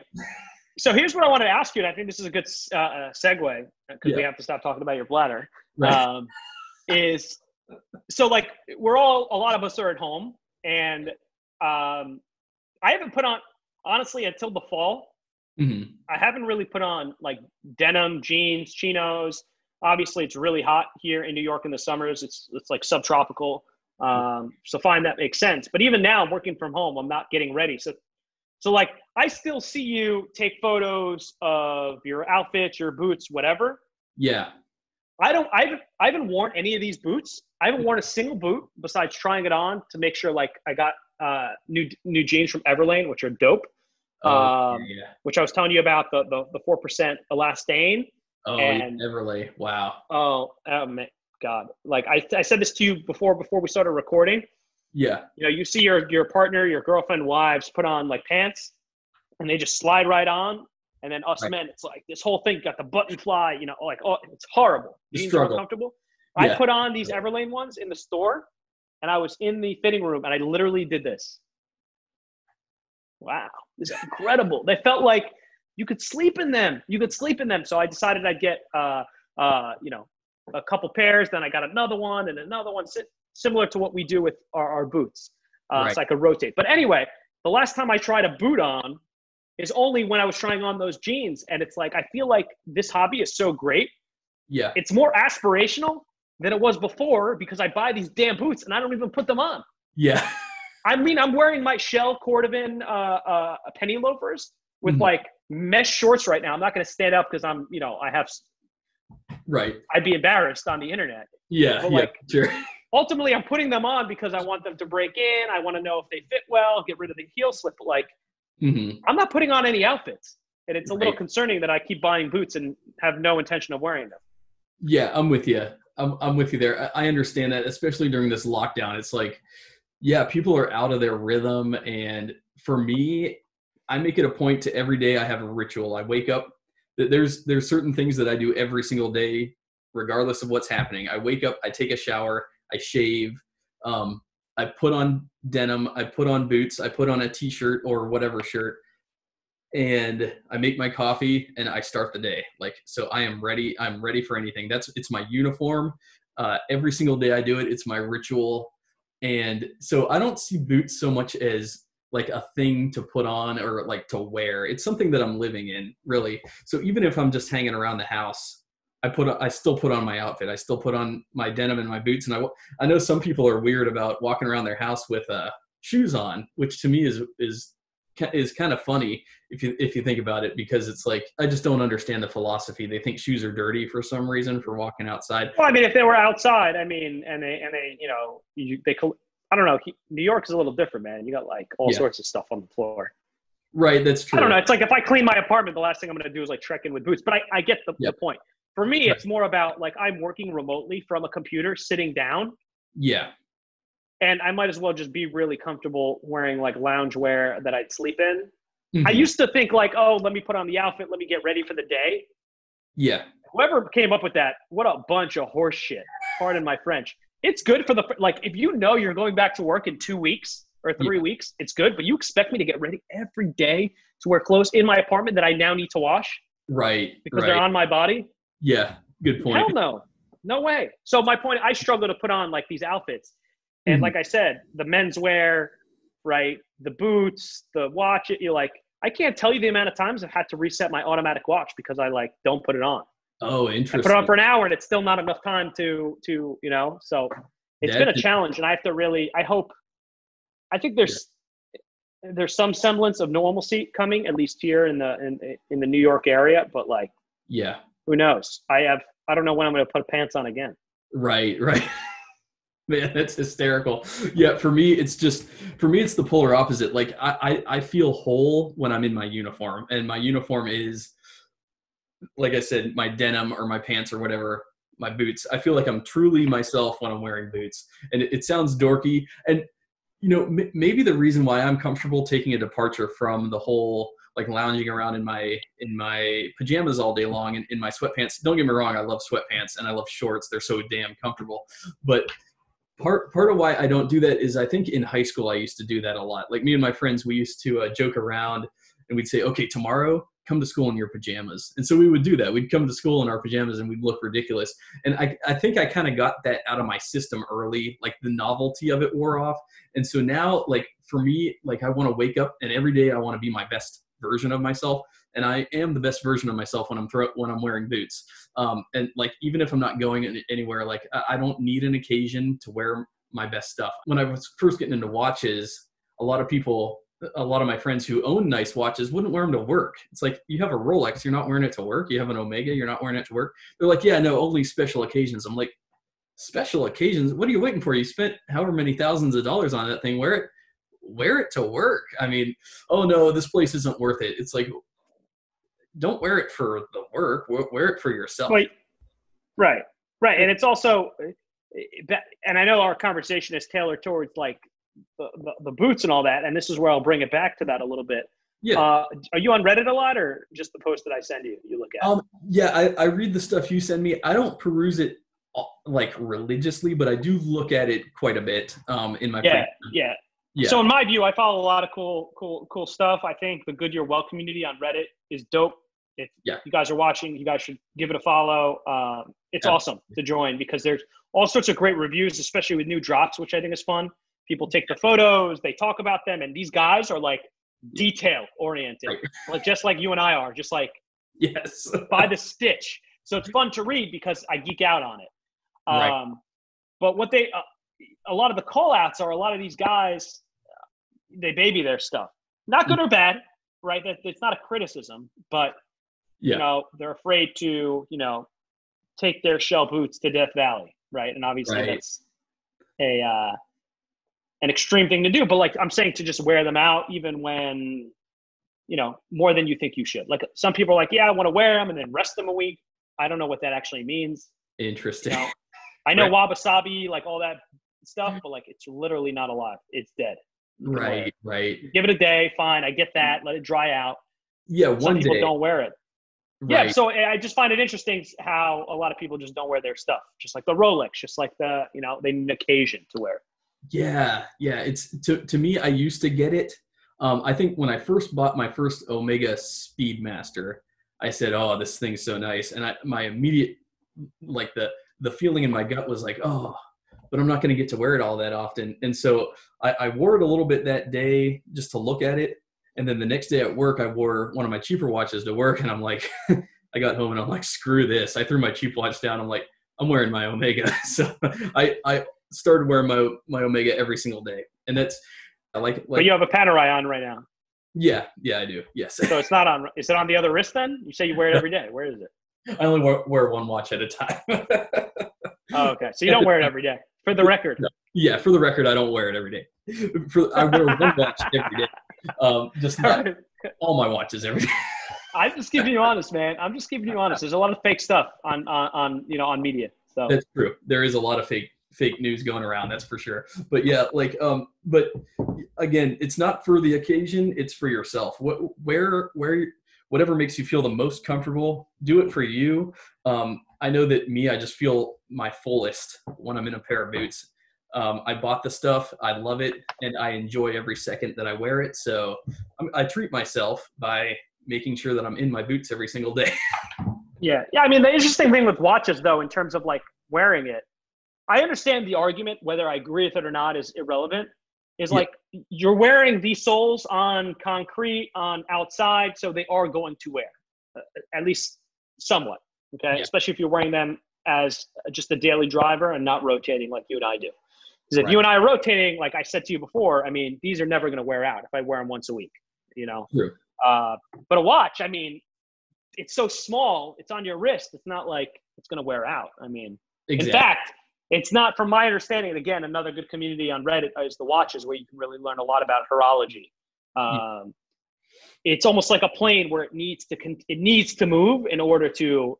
It doesn't like being static because it has the oils, it has all stuff that I don't, I'm not so familiar with, but it needs to to move. Like the most dangerous thing for a watch to do is just to be idle, very much like a plane, which sounds counterintuitive. You yeah. leave a plane in the tarmac for for three months, it needs to be disassembled and put back together, tested, and then go up in the air consistently. Right, right, exactly. It's got to be well oiled and it has to be used often and frequently Otherwise, I mean, car car lovers know this. You can't just leave a car in the garage and, and ignore it for 20 years. it's not going to kick. By the way, speaking speaking of footwear, I know you and I are not sneakerheads, and I know you have a disdain for sneakers. Yeah, but sneakers are the same thing, right? Like they're glued together, and if they're yeah. just sitting in a box, that glue dries out, and that's it. So if you're a sneakerhead, man, you got to wear those shoes. That's true. Even if you want to keep them fresh, and you know. Right that that's an excellent point. I think this stuff is, you know, to a certain degree, not to get too philosophical with it. Well, I think we've crossed that line already, but to a certain degree, this this stuff is living and it needs attention and wear and use. Otherwise, it it loses its luster. So yeah, absolutely. Like I, I could tell, like we talked about earlier with our boots, it's like you want to rest them a day. Some I think it's yeah. better actually rest most boots for three days um, but then you don't want to let them just sit for a year. yeah, know? for, for, for a couple weeks. Of course not. Also, you can't enjoy them when they're in a, in a, in a box, right? Like, and that's my issue with my main point. Like they sit in this box. Yeah. You know, I wear a a t-shirt, I wear shorts, right? right? I don't wear them. I can't really enjoy them. It's literally in some way, although not entirely true. If they yeah. continue continuously sit in this box, I've thrown away, you know, how much were these boots? 400 bucks from Grant Stone, something like that. Yeah. Right for the kudus, I think a little less, 330. But my point is, it's a lot of money to just mm-hmm. just sitting there, put on a shelf. Right, right. Not, not, to mention the toe taps are another 50 bucks, you know, 50, 60 dollars, you know. So, yeah, you know, if you're paying money for this stuff, you should wear it. Right. You should wear it. You should use it. You should love it every chance you get. That's that's my point. That's the, that's the philosophy that I came to. Because yeah, when I first got into boots, it was like oh crap, when am I going to wear this? Uh, what situations? Blah blah blah. it wasn't long before well it wasn't long before my collection got big enough to where i was like i'm gonna wear i need to wear these every single day i need to walk in these i need to put wear on them and and like we were talking about earlier you know with the pandemic my escape is just taking a walk outside well guess what i already have my boots on and guess what they need patina so i'm gonna i'm gonna kill two birds with one stone i'm gonna get my breath of fresh air and i'm gonna put wear on my boots and i'm get, gonna get to assess Right. them and you know Right. get- And you're already dressed, right? That's my issue now. It's like, Yeah. oh, I got to put on pants, and then I'm like, I'll go out in half an hour, right and then all of a sudden it's five, five thirty. You yeah know, here on the East Coast, it, uh, you know, it's getting dark now, and, the- then I don't go anywhere. Yeah, that's true. yeah, so that's that's why I see getting ready every day, get, getting up, getting a shower, getting getting your coffee. I don't know if you're a coffee drinker. Um, I'm not, but little victories. I get it. Make your bed. Get get ready to take on the day. yeah, rituals. Yes, that's that's what it comes down to. And for me, m- I'm not kidding. One of the most enjoyable parts about my morning ritual is lacing up the boots. It's like, oh yeah, stepping into them, get get the uh, get the shoehorn in there, step down in there, lace them up. It's it's And I know, I know how you. I and you want to know how I know how. I know you so well that I know how you lace up your boots. You'll put them up, the heel up, heel up, man. Right? You put the heel, Heel up, up. and then you tie them because that way you get a good fit. exactly exactly you can't you don't stand stand flat on the ground and lace your shoes up what is this The elementary school no no no no everybody knows you need to arch your heel up when you. Yeah. just kidding there's more than one ways to skin a cat i just i find i get my my best lace up when i arch my heel up like that when i tie So you, you and I've been talking for a while, and I think I, I kind of want to cover a couple more things before we before we wrap. Um, so, like, what is your and I I I asked you about this, but I've never gotten an answer. Yeah. What is your favorite boot? Oh, Okay, number one. What is the what is the favorite boot? Right. And fine, you can give me one or two. I know you got fifty. And then yeah what is your favorite brand? And I'll repeat this later. And has that changed over time? And what is your favorite brand today? oh shoot Because yeah like I guess like, like I, and I'll let you answer this, but I have a feeling it's going to be like it used to be Alden, and then you know the exclusivity, the pricing. You've sort of moved away from that, so that's kind of Yeah. where I want yeah, your answer yeah. to come from. For sure right now my favorite boot i mean oh my god that's literally just such an impossible question All right, so let's just say I lit a match, right? Your little, your little, what is it? Your crystal lamp lights on fire, right, right? You're only able to take That one boot. Yeah, that one. You have one in every room, so they all light up, right? At the same time, they combust. So, what boot are you taking? You have no choice. You got to take a boot, or you take nothing. I would You're going to be wearing sneakers. i would run in and out of the house grabbing boots until i collapsed One boot, you got five seconds. five seconds okay let, let's say like a nuke has gone off and i need to get in the car and just just flee with my family and and by chance i have one hand to grab one pair of boots oh shoot right now it would probably be the some of the rare shell that i just got because i know how irreplaceable it is but yeah i'd probably grab my my natural shell cordovan edwards my grant stones that, that's probably what i'd grab and then whatever was on my feet so Oh, that's that's huge too, because yeah I mean, you got you have 50 pairs, right? 50 Yeah. some odd pairs. yeah Yeah, man. I mean, by the way, I have this. So I'm on. I'm on. I'm talking to you on my MacBook, and I have the the Edward sitting right there. I've been staring at it. If you see, you guys see me staring off into space yes because yeah. I'm like, I, I'm I'm looking at like the reflection of this boot because it's just so freaking, just Yeah. gorgeous, yes yes beautiful All right. oh my god so much gorgeous boot.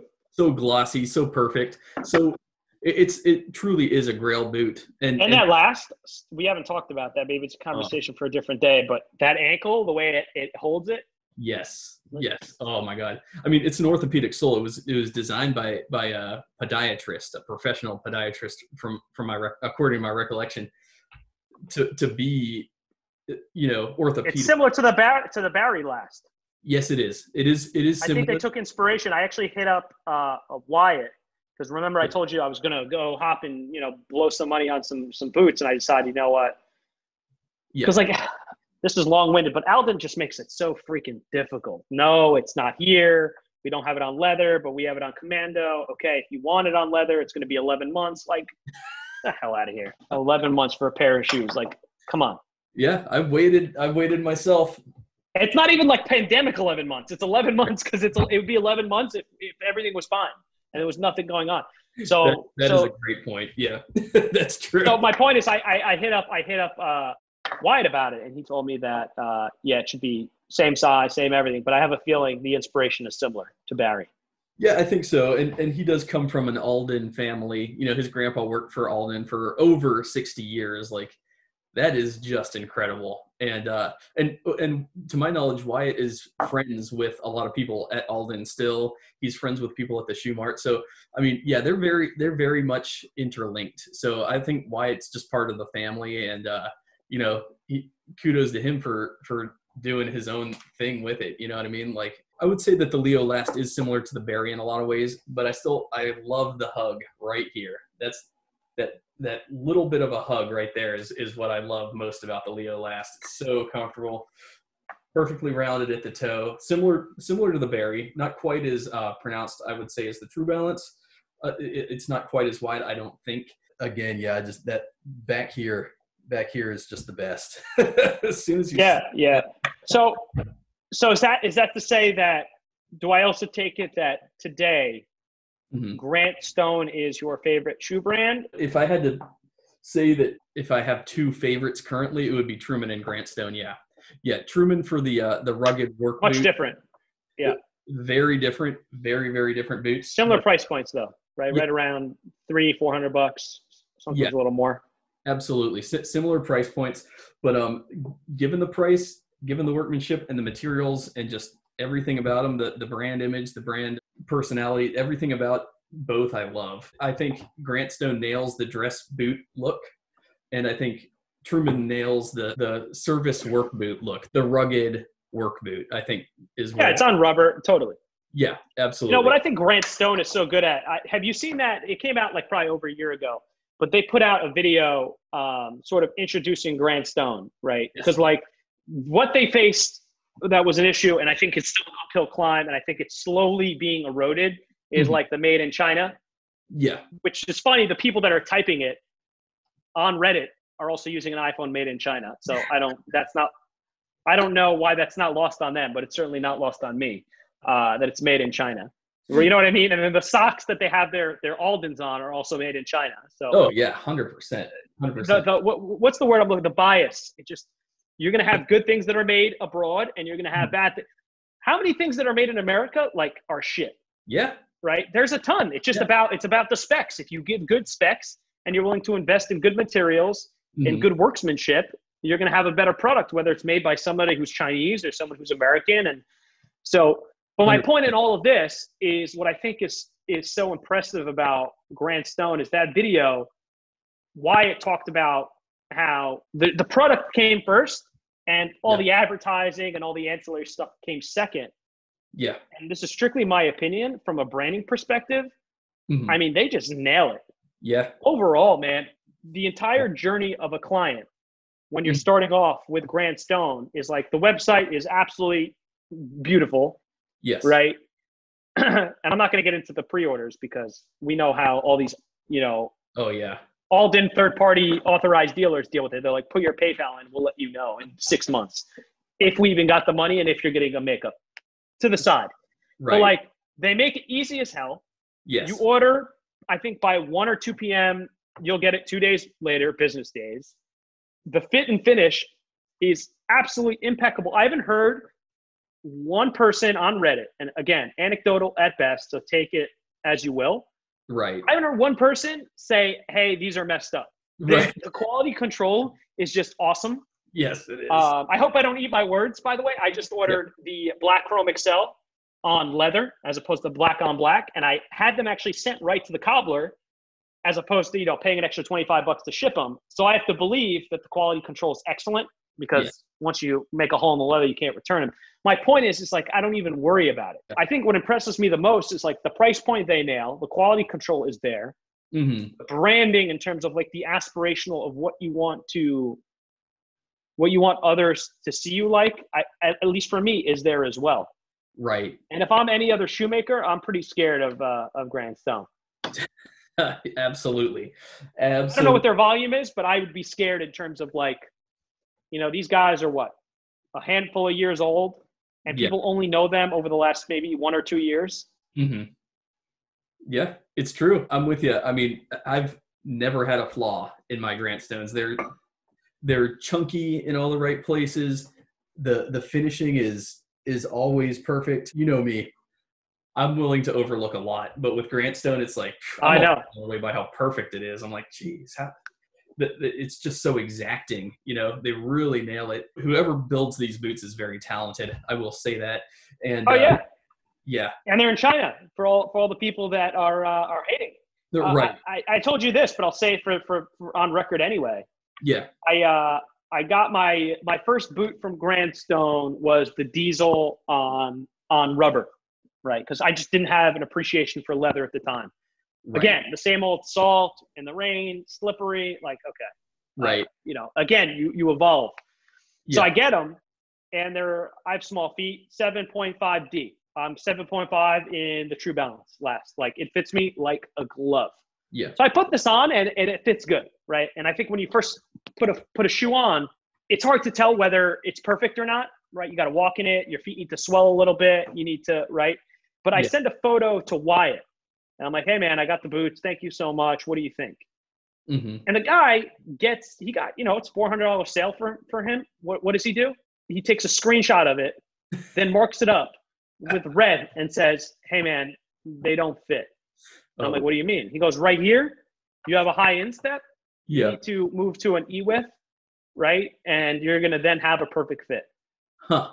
And That speaks volumes in terms of a guy that cares. He already had my money. Now Right. he's going to, and I don't know, I don't think I had to pay for shipping back, but even if I did, I don't, but either way, he allowed me to ship them back. They were already worn, right? Right. So meaning like they already had the creasing, right? Because Chromexcel, like as soon as you step, you know, you tend to see that creasing and he sent me a brand new pair of boots. And that probably I don't know if he resold it or they went a seconds. I was just really impressed, and that's that's why I think they're the premier brand Yeah. for me at least. Yeah, that's true. I mean, Wyatt, he uh he did a similar thing for me. He was him and I were talking and they were getting ready to send me a uh, pair of boots and he said, "Man, are you sure you don't need an E?" He's like, uh, "Just looking at your at, at your instep." And he's 100% right. He called this to my attention. I have a huge instep. I mean, it's it's uncomfortable sometimes if if this area isn't elevated enough right here Yeah, the pressure. You feel like your blood pumping. yeah it just it just kills me it just it's it, you know and it's part of my skeletal system so it really it hurts when i walk and it hurts everything else so and he was he noticed that like right here on all my boots it's sort of um it's sort of pronounced it's like when i lace them up Yeah, the gap. You feel the the pre- the the pressure. The, Yeah. Exactly let me see if i could if i could replicate it. But yeah essentially like right here it it's it sort of bulges out and he noticed it just right there. And he's like i'm Yep. going to send you an e along with the d's and um, you pick the best one that fits.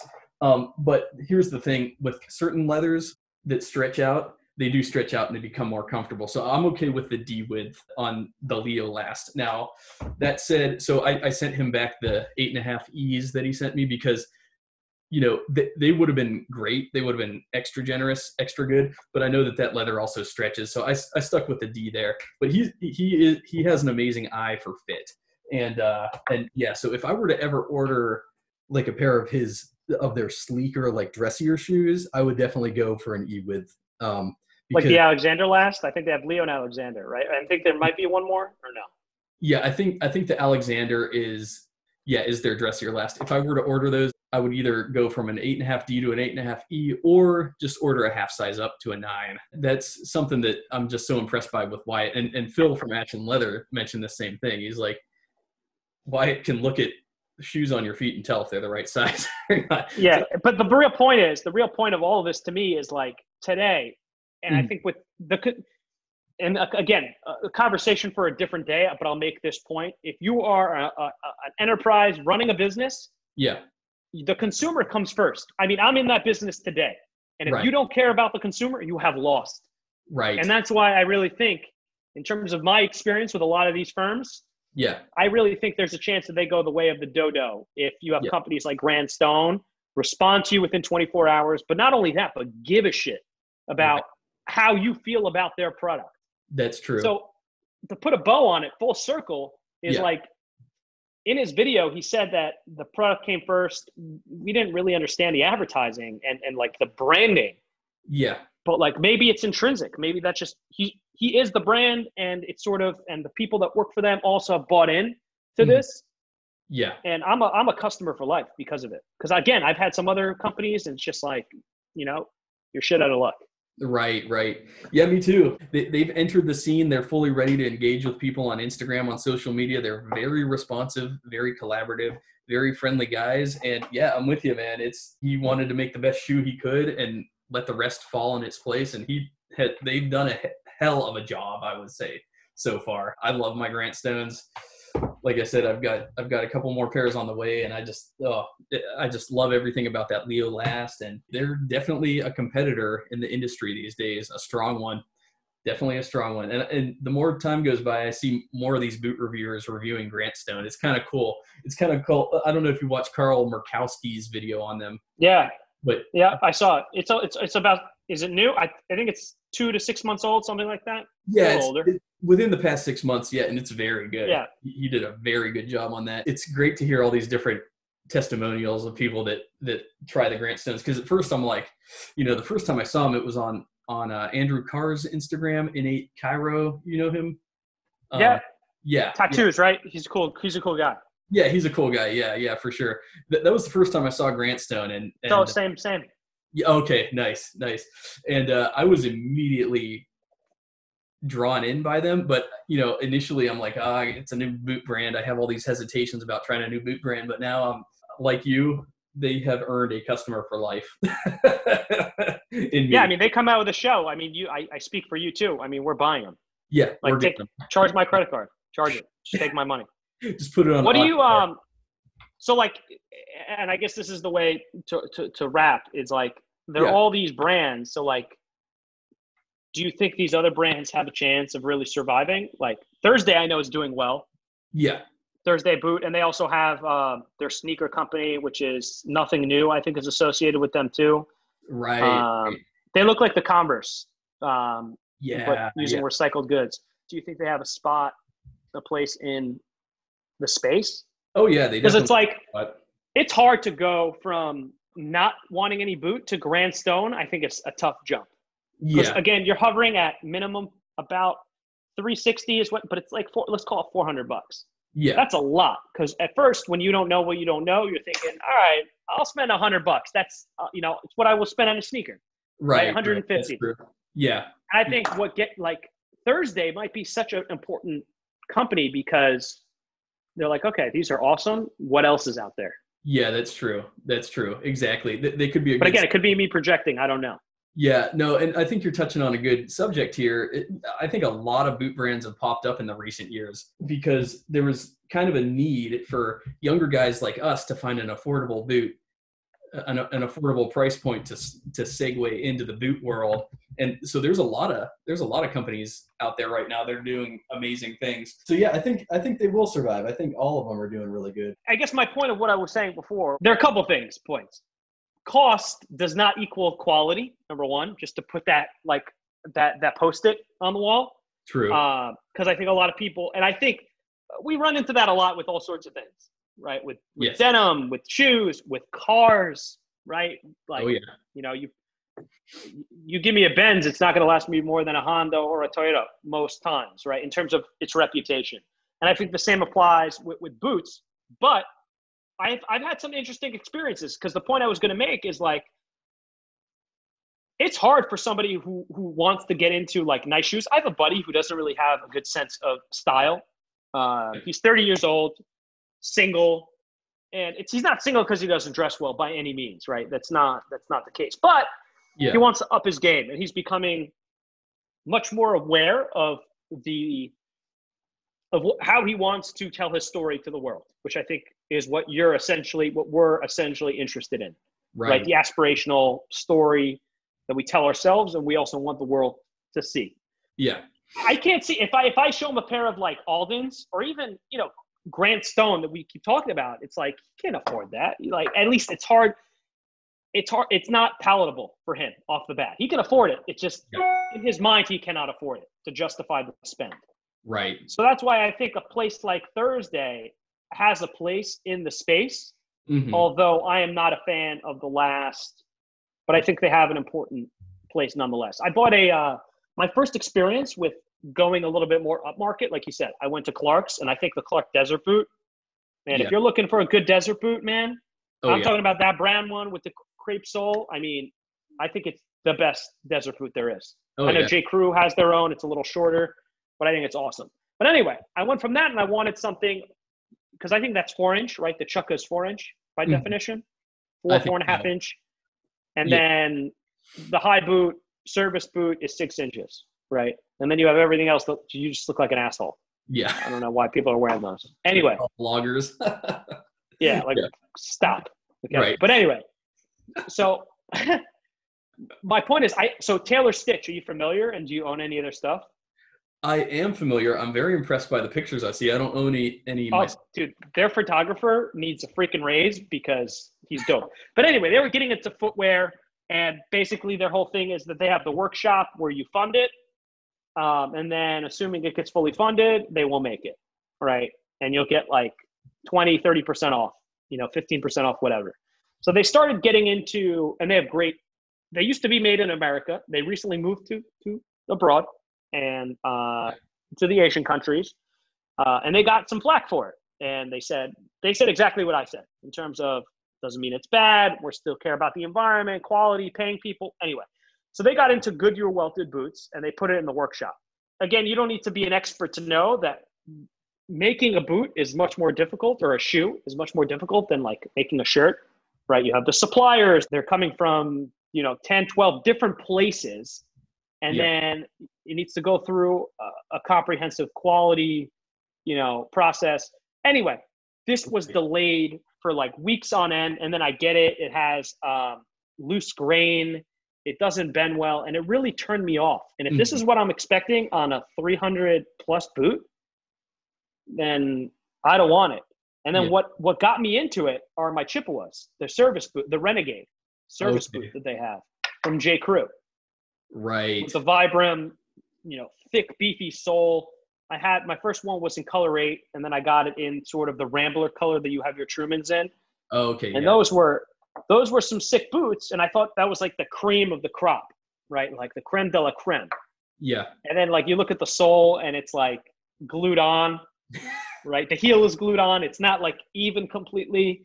Right. And then I decided because of you to move a little bit more up market. So I got 405s. Uh, and then I started looking at Grant Stone and I had the same sort of, uh, you know, I was nervous and I finally pulled the trigger and I haven't looked back since. I still think they're the best company. But Yeah. Bottom line is, what do you think about all these other companies that are, you know, sub, you know, 250 and below? And I think we could Yeah. throw Wolverine in there when they're on sale. Mhm. Red Wing, when you get like 10, 15% off, you could put in Thursday. Uh, I mean, True. what do you think? Yeah. That was long winded, but I wanted to tee it up. No, that that's a good question, and uh, I think each company has its strengths. You know, I think at this point it's not so much of a question of who makes the best boot. It's uh, each brand has their own niche, and it's it's very nuanced the niche that they fill. But each brand really does have their own identity and their own place in the market, from what I can tell. Um, Thursday, you know, they're very ubiquitous now. Like they market well, especially to the younger college crowd. So the college kids all know about Thursday boots. You know what I mean? And, and I'm kind of with you. It's like it's like their last. I don't know that it would that it's the perfect one for my foot. I think that the perfect last for my foot is you know like the Barrie last or the Leo last or something like that. But um, but yeah, I think all these different. So to address like the Red Wings and the, the Wolverines, Chippewas in there too. Chippewas, they've been around for so long, so they're heritage brands. They have a large fan base, a large customer base. You know, I mean, Red Wing, the people that follow Red Wing are almost, I mean, they're, they're, Uh, cultish. it's very cultish. I, I didn't want to say cult, but yeah, that was the word that came to my head was, No, I mean in a in a semi positive way ish. Yeah. I mean cult is always negative, but you get my point. Yeah, They're no, also the fade crew. that that too. And and I notice whenever I post a my Red Wings or a pair that looks similar to Red Wings, I get a ton of likes because there are guys that love that aesthetic. Yeah, it's Truman. The Truman. Yeah, Has that beefy sort of the on the on the P seventy nine last. Right, right, exactly. I think I think Truman's aesthetic is is closer to Viberg um, in a lot of in a lot of respects, but like uh, but yeah, for some reason when when I post something that's that's Red Wing esque, kind of like my Mark Alberts, it, they get a ton of likes, and there's people out there that really like that look. I mean, I could go on and on all day about this, but I think each company has its has its place. They each attract different types of customers and you know as i think as long broadly speaking as long as the economy does well i think all these boot makers are going to do well. Um, i remember when i first started researching about alden they were alden was there and they were competing with like there were like 20 other makers at the time. Florsheim was one of them but most of them dried up during the great recession. Alden survived somehow. They continue they're like the one brand that continued to make shoes during the whole time they, they, they, were the only one that didn't dry up. I think as long as the global economy continues to do well, I think all these different makers are going to do well because I think they all have their niche. Like we said, Thursday, uh, Taft is another one that seems to be marketing very Yeah. well to Yeah. certain, you know, the younger groups. And yeah, I mean, we see all these Indonesian makers popping up now too. We got Oh yeah, man, they make some nice shoes. I see some of these shells for yeah, like 450, 500. I'm a little apprehensive about it. yeah, and they they take the photos. They're not like they're not like Taylor Stitchering your their photos here. right. Taylor Stitch has like a fantastic photographer, and no shade on them for doing so. Oh, I'm great. saying this is they're taking photos with an iPhone Yeah. uh, or whatever, but you can see the shoe for what it is, and I'm right. I'm impressed. very impressed and i hear nothing but good things about onderhood and um, junkard sagara they all make really good stuff there's another new one um, renav goods co out of indonesia i've heard nothing but just stellar things about them and then flame panda in china is just doing incredible stuff Yep. another chinese maker that's just doing top level work in fact i'm so close to putting in a custom order through flame panda You got to send me something after this tonight. for sure. Yeah, I'm very tempted to go for. They, do like a roofer model, but he could do it in like an olive color. I've seen several iterations. I kind of want to do olive shell cordovan. It's expensive, but I mean, he's. What about Osmo, man? I but I know it's a separate. We'll go back in a second. That's just Oh yeah, put a pin in that. yeah, Osmo is that? Am I pronouncing that right? He's like a guy in like in Nor- in, in Finland or, or Nordic country yeah, who like lives in the woods and like makes shoes. yeah, Right. His famous models, along with like the two tacks, Yes. almost right on the leather. yeah. He puts the tacks. He does yeah, stitch down exclusively because yeah, I'm right sure there. he does it like in his in his hut in his cabin. He don't have uh he doesn't have a Goodyear welt machine. Right, exactly. He's very interesting. He does uh, exceptional work. The way that he does it. You got is- bid on him.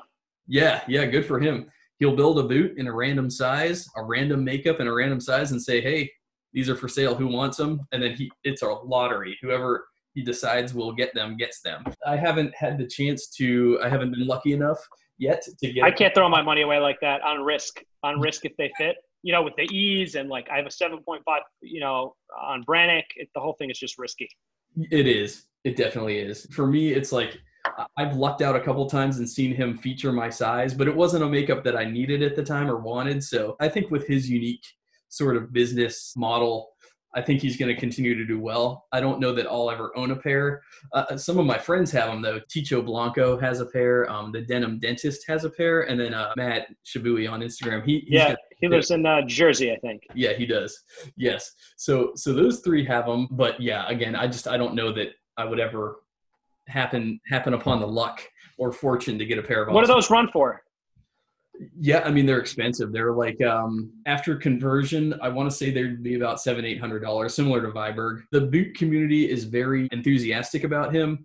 And rightfully so, and they're willing to shell out because, yeah, Osmo does incredible work. He's an interesting guy. He sources in whatever leather he's interested in, and he'll build a boot just by just he he lets his uh, intuition guide him with how to build it, what size, and everything, and then he makes a living off that. You know, and he doesn't live extravagantly. He doesn't have a big. No, no, no. It's more or less a hobby and it's what he's comfortable doing and i really think that's respectable they will end up costing about the same as viberg to my knowledge they're under my thousand dollar price point so that's true they are under that so yeah they're so, in budget baby if I was to get a stitch down boot, I'm a Goodyear. I like Goodyear welt, like you said. I like the clean, cleaner look, and yeah. again, aspirational that I can keep resoling them, recrafting them as many times, even though I will never. Uh, yeah. But if I was to get a stitch down, I'd probably yeah go through him. Yeah, yeah, he's he's great. I mean, he has nothing but rave reviews. I'm with you. I love I love the Goodyear welt, especially the Storm welt. I think it just looks so damn good. Whew, look at that. I love a Storm welt. I love that. Yeah, so good. I love it. Hell yes, yeah, me too, man. Yeah, I'm I'm all about that Goodyear. I don't know. Maybe maybe I'm just a traditionalist, but you know, I, I just I prefer the aesthetic, especially this 360 degree Goodyear welt all around the edge there, behind the heel all that perfect. So, yeah. Dale, we went through uh, a ton. I mean, we put an agenda together, I think about a week ago, and edited it together. We went through it all. I mean, we've been we've been on for a while, so that's all I have for now. Unless uh, you have anything to add, I think we should do this again. We will definitely do it again. I had fun. I think we bounce off each other well, and uh, I don't have anything else to discuss at this time, but I'm sure we will uh, we will create many new things to talk about. Look, as soon as there's a new drop, we'll have something else to talk about. So we will. It's like tomorrow or Monday or yeah. whatever. So in no time. All right, Dale. I'll All talk right, to you later. Yeah, good talking to you, well. man. Peace. Yeah.